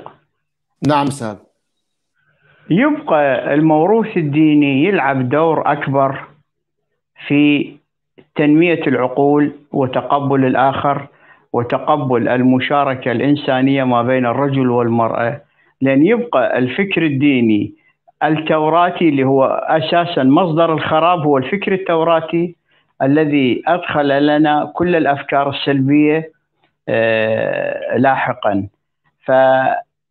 فوجود فكر ديني متخلف مع وجود بيئة آه، عشائرية آه، لا زالت تعيش فكر القبيلة مع تخلف أكاديمي وثقافي بالتأكيد يبقى الأمور وكأنها مياه راكدة. تفضل. آه، نعم استاذي العزيز. وأسف أستاذنا على المقاطعة لأنه كذبوا على شاهد أنه صوت ضعيف. نعم لا لا عادي عادي لا. جدا. أنا أيضا قراتها نعم. نعم.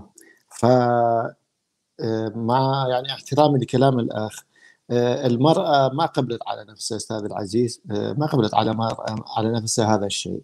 ولكن هو الدين أو يعني المرأة يعني راح تسوي مثلا؟ إذا قالوا له الدين والله يقول كذا وكذا ما كانت تستطيع تفعل أي شيء لأنه هي كانت يعني الحلقة الضعيفة حتى قبل الديانات يعني لنقول هي أغلبية هذه الديانات دخلت مثل السم في العسل. يعني ما دخلت آه، عشوائي يعني هيك عشوائي جدي مثلا انضربت ضربة واحدة وتألمت. لا إذا كانت كضربة واحدة وتأليم كانت احتمال تنفجر هذه المرأة وتصرخ على نفسها إن هذا الشيء غلط. ولكن هو يعني هذه الديانات دخلت مثل السم المدسوس في العسل. رويدا رويدا لأنه حتى الرجل هو تذوق هذا السم الرجل ليس المرأة فقط. هنا بقت الأكاذيب الناس مثلا الأكاذيب من؟ رجال الدين. فأنا ذاك لنرجع لي ورا إحنا خلي ليش ما نرجع لي ورا حتى نفهم نفسية الإنسان أنا ذاك. بالحقيقة يعني القديم ما كانت أكو العلم المتطور مثل اليوم إذا يعني إحنا ما ما نريد نشبك اليوم في الماضي ولا الماضي في اليوم لا لازم اذا تكلمنا في الماضي لازم نأخذ آه، محاورهم في الماضي شنو شنو كانوا أو مفاهيمهم شنو. طبعا مفاهيمهم كانت بسيطة جدا جدا. اكل وشرب ونوم والمرأة عندها أطفال والحقل أو اللي راعي واللي عامل واللي آه، مفهوميتهم. ولا توجد يعني مثلا آه، وسائل ترفيهية وال يعني الذي سبب هذه المشاكل إنه لم تكن مدارس في تلك الأيام يعني كثيرة ولم تكن أساسا مدارس أيضا يعني. فقط كان الإنسان المنفرد بنفسه مثل كأبو العمامة أو القسيس أو إنسان شيخ آه، كان يعلم بهذه الكتب. مثلا إحنا حد الآن كانوا يعني إذا نرجع في 100 سنة 200 سنة لحد الآن ما كانوا يعرفون الناس في القرى آه، يتكلمون ينطقون بشيء ما. آه، دائما كانوا يسردون سردياتهم هم القساوسة والمطارنه أو الشماس الذي هو مثلا بالديانة المسيحية أنا أقول لك حتى بالجنوب. ثلاث أرباعهم كانوا ناس جهل ما يفهمون ولا يفقهون. فعندما واحد يكون يعني أعلم منهم يعرف يقرأ ويكتب آه، هنا حتى لو جاد المراه يعني قالت المرأة يا سيدنا إنه هذا الشيء غلط. يعني هو دائما زوجها أو أبوها يكتمها يكتم صوتها. اسكتي ما لك علاقة قبل تفهمين أحسن من عنده؟ لأن هو يقرأ ويكتب. آه، هنا مفاهيم آه، ما تط... يعني ما إحنا قلنا البشرية مو كلها سواسية. البشر 95% تقريبا ما كانوا يفتهمون ولا يعلمون. اليوم شوية تطورنا شوية قلت هذه المشاكل. وما زال يعني موجودة هي هم مشاكل موجودة ولكن شوي قلت أحسن آه، من ذي قبل. وأصبحت يعني بالتدريج آه، على مدار 1400 سنة كمسلمين أو 2000 سنة كمسيحيين زرع الخوف فيهم في النساء. يعني أصبح موروث بالنساء من وراء رجال الدين من وراء اله هذا الدين الذي أعطوه شكل إرهابي وقمعي آه، يعني مجرد أنت إذا ما تصومين أو ما تصلين أو ما تدعين ربك مثلا أنت في جهنم وبئس المصير. هذا في المسيحية والإسلامية واليهودية. يعني إنسان متخوف أساسا. زين هنا المرأة حتى لو اللي تفتهم شوية يعني بأي كتب راح تقول له مثلا هذا الشيء خطأ اللي تقول أنت يا سيدنا مثلا. ما عندهم كتب ما عندهم آه، خلفية ثقافية يعني كتب آه، تثقفهم أو ما شابه ذلك. إحنا قديم الزمان كلها حرقت الكتب وما عندنا تقريبا آه، كتب قديمة. سوى هذه الكتب المؤلفة وثلاث أرباعها الكتب دينية وحتى هذه الكتب الدينية. اللي كتبوها كعرب مسلم عربي اللي كتبها مو عربي. أساسا مو عربي. المسيحي آه، الذي هو ابن البلد في العراق آه، يعني حتى كتبه الذي كتبها يا أما حاخام يهودي يا أما يهودي يا أما آه، غريب. يعني كل إحنا يعني نقولها بكل الصراحه الأولياء والحكماء كانوا في العرب كلهم غرباء. وأولياء اللي كانوا مثل قديسينا ثلاث أرباعهم قديسين. روح شوف أسمائهم. كلها أجنبية. ما عندنا ولا قديس من جماعتنا يعني إحنا كآشوريين. آشوري. كلهم غرباء. فهناك الغريب عنده ثقافة آه، ما تعرف حتى هذا الإنسان الغريب من أين أتى. قد يكون في بلده مطرودا مثل إبراهيم. انطرد كما يقال عن سرديت كما تقول. انطرد من آه، بابل. بسبب بلائه تزوج أخته. فأصبح أبو المجتمعات كلها أصبح أبو العالم كله اليوم. فهنا هنا مع الأسف يعني البنية التحتية مالنا كلها سقط في سقط وطبعا البنيه التحتيه مو بس يعني بالثقافة هي وبالتطور ما عندنا أي كتب ولا طورنا كتبنا من المسمارية ولا عرفنا شنو هاي الكتب المسمارية على ماذا كانوا ينصون وما تناقلوها بشكل مؤلفات جديدة. يعني طوروها مثلا هي كانت على الالواح الرقميه ما سردوها ويعني ودونوها في لنقول الدفاتر الحديثة اليوم أو على جلود اللي من بعد جت الجلود وكتبوا على الجلود حتى يعني تتطور وتضاف إليها تطور وتتراكم يعني التطور يتراكم طبعا على الرفوف يكون الشعب متطور. إذا إحنا ما عندنا مدارس الانسان من راح يعني يتطور. إذا هذا المجتمع المسيحي ولا مسلم إذا ماكو تحت إيده فقط غير هذا القرآن ولا الاناجيل ولا التوراة من أين سيتطور هذا الإنسان؟ يعني كل عقيدته راح تكون مبرمجة على في هذا الكتاب. فالعراق في العراق يعني كمسيحيين والصائبين والمسلمين آه، كلياتهم هذه الديانات آه، يأخذون أفكارهم من الدين. والدين أنت تعرف كل الزين كما قال الاستاذ أيوب قامع المرأة قامعها المرأة ومدمرها المرأة وجاعلها لا شيء في نظر المجتمعات وفي نظرها أيضا هي المرأة ذات نفسها لا شيء في نظرها. يعني تقول لك مثلا أنا مرأة أو مثلا آه، مثلا آه، الرجل إذا تزوج من امرأة أمه تقول له مثلا آه، آه، اضربها. يعني لأنها مرأة المرأة عورة هي. حتى هي الأم الأم يعني أم الزوج تقول اضربها أو اذبحها كما أستاذ أيوب يمكن تسامعها اذبحها قدامها قط حتى تخاف. يعني تخويف. يعني هاي عادات وتقاليد كانت موجودة. اذبحها ذبيحة قدامها مثلا الزم لك قطة واذبحها حتى تخاف. هذه كانت مفاهيم موجودة يعني سامعها من كثيرين ناس بالعراق. من مسيحيين واسلام مو بس مسيحيين من مسيحيين واسلام فهذه المفاهيم جعلت المرأة فعلا آه، ما تنخرط بالثقافات ولا تنخرط بالأعمال السياسية ولا الأدبية. أصبحت مهمشة ومضغوط عليها ومدمرة وطبعا هنا المرأة آه، أصبحت كما اليوم هي أصبحت يعني مع احترامي لها لا شيء في هذا مجتمعاتنا البالية وكله سبب هذا الدمار هو الدين. وإذا تمكنا من دمار هذا الدين اعلم إن المرأة ستكون هي فوق الرجل فوق الرجل بعلمها.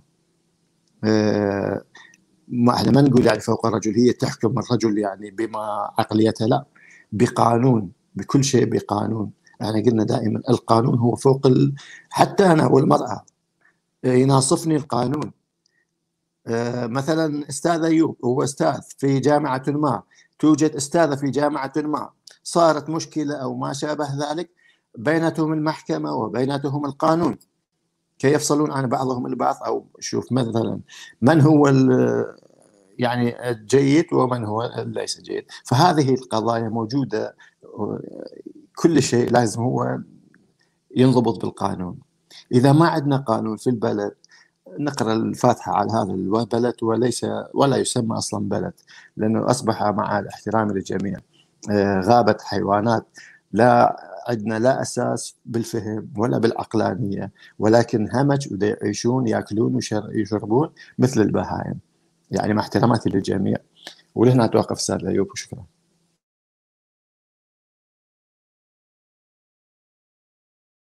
شكرا جزيلا أخي يعقوب. وهكذا يستمر موضوع المرأة والرجل مع أن وجود المرأة والرجل هو ديمومة الحياة. ولكن عندما يخرج مثل شيخ الأبعر في الأزعر أقصد شيخ الأزهر هذا الذي يقول علينا أن نكسر أنف المرأة وعلينا أن نكسر كبريائها وهذا علني ومصرح به وأيده من يسمون أنفسهم المشايخ.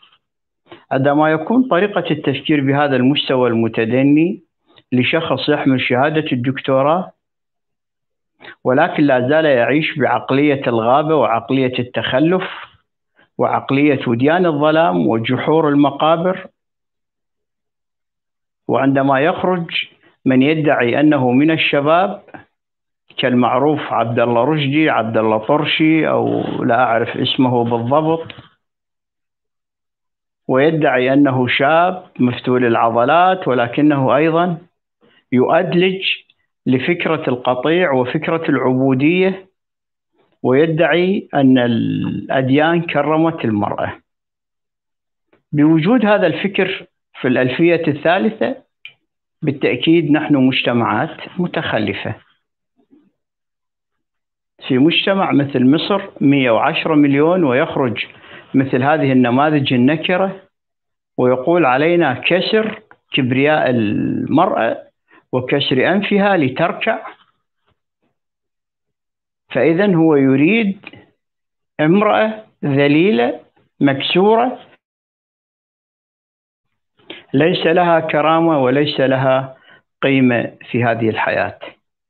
هكذا هو دوما الفكر الديني يفرخ لنا فكرا دينيا أسوأ من السابق. بدل أن ننهض ونتجه هذا الشيخ الأزهر لو مرض إلى أين يذهب؟ أليس يذهب إلى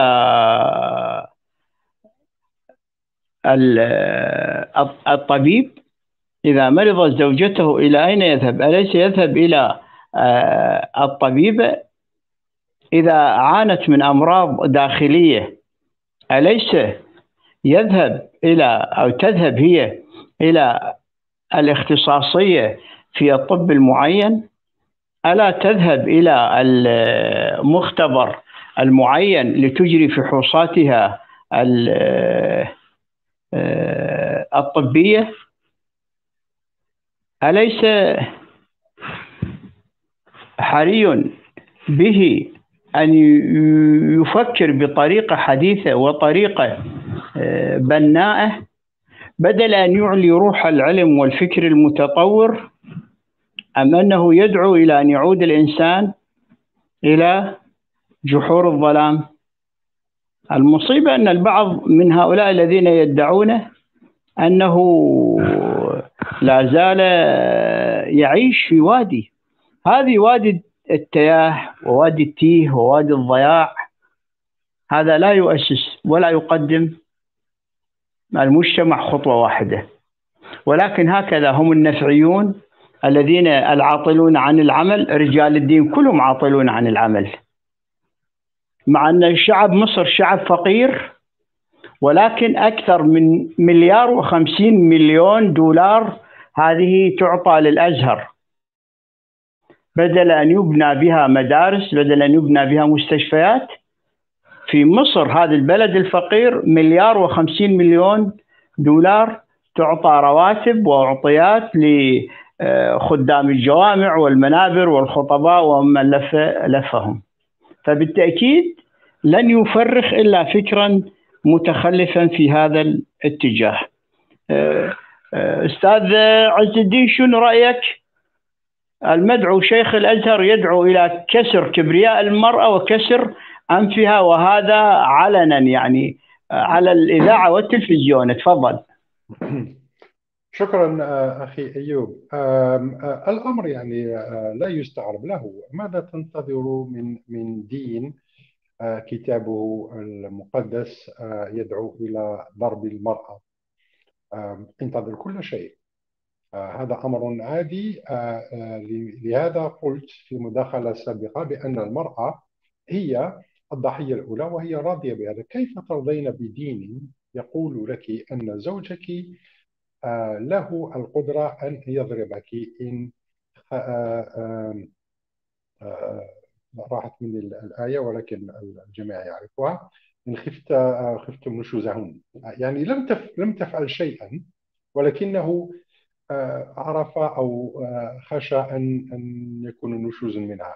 يعني يعاقبها قبل أن تقوم بالفعل ذاته. فإذا كانت المرأة رضيت بهذا فما العمل؟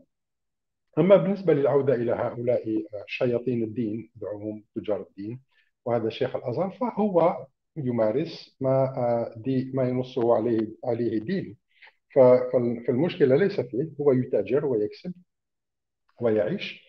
المشكلة في الناس الذين يستمعون ويقدرون ويقيمون هذا الشخص مثله كمثل آه، عبد الله الرشدي الذي هو تاجر كباقي التجار ولكنه يظن أنه أذكى من الآخرين لأنه رأى يعني ثغرة في في المجال التجاري الديني. وقام بتقديم نفسه على أنه شاب يمارس الرياضة ووسيم ويعني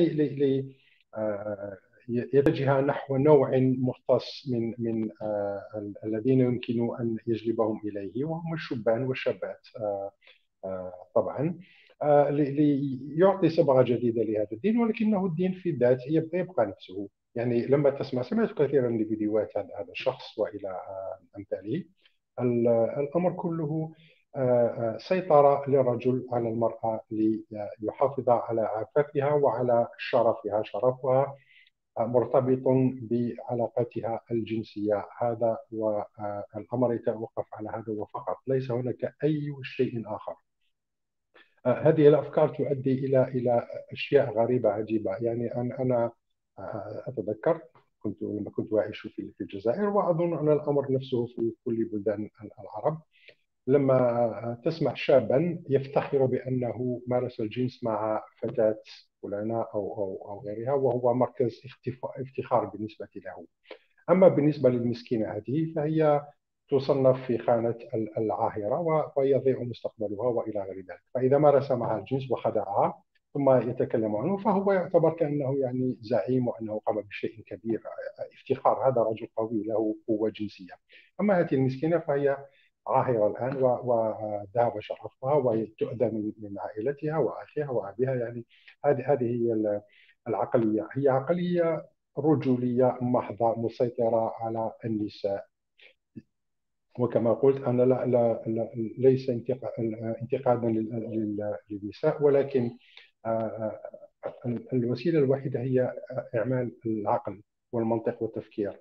هذا ما فعلته النساء في في أوروبا وفي أمريكا وهذا ما على النساء في الجزائر وفي جميع البلاد المسلمة أن أن تقوم به. يجب أن تفكر وإن فكرت ولو قليلا لاقتنعت بأن كل كل هذا الدين ما هو إلا وسيلة للسيطرة على النساء اركاعها ويعني وكأنها شيطان. تسمع الناس يقولون لك وأن هذه المرأة إن دخلتها إلى بيتك يعني زوجتك فاحذرها فإنها شيطان أو افعى عليك أن تكسر أنفها وأن ترضخها قبل أن يعني آه، آه، تسمح لها بان تسيطر آه، في هناك بعض بعض الناس بعض القبائل يصرون على أن العريس ليلة دخوله على المرأة يجب أن يضربها. إن لم يضربها في ليلة الدخول فلن يتمكن منها. وكانت تمارس تمارس حتى حتى يومنا هذا. عادات عند بعض الناس يجب أن يضرب زوجته ليلة الدخول. هذه فكرة أن هذه المسكينة تكون في سن السادسة عشر والثامنة عشر والعشرين ويدخل عليها رجلا آه، أحيانا في حالة السكر أو تعاطي المخدرات وأول شيء تلقاه منه وهو الضرب لغير سبب. الأمر يعني غريب ولكن النساء يتقبلن هذا بحجة أن الدين يحل للرجل أن يقوم بهذه التصرفات. فما العمل؟ العمل هو هو على النساء أن يفكرن لأن لن لن لن يقوم الرجال بهذا التفكير في في مكان النساء ابدا. الرجال راضين بهذه الصفقة. صفقة مربحة للرجل.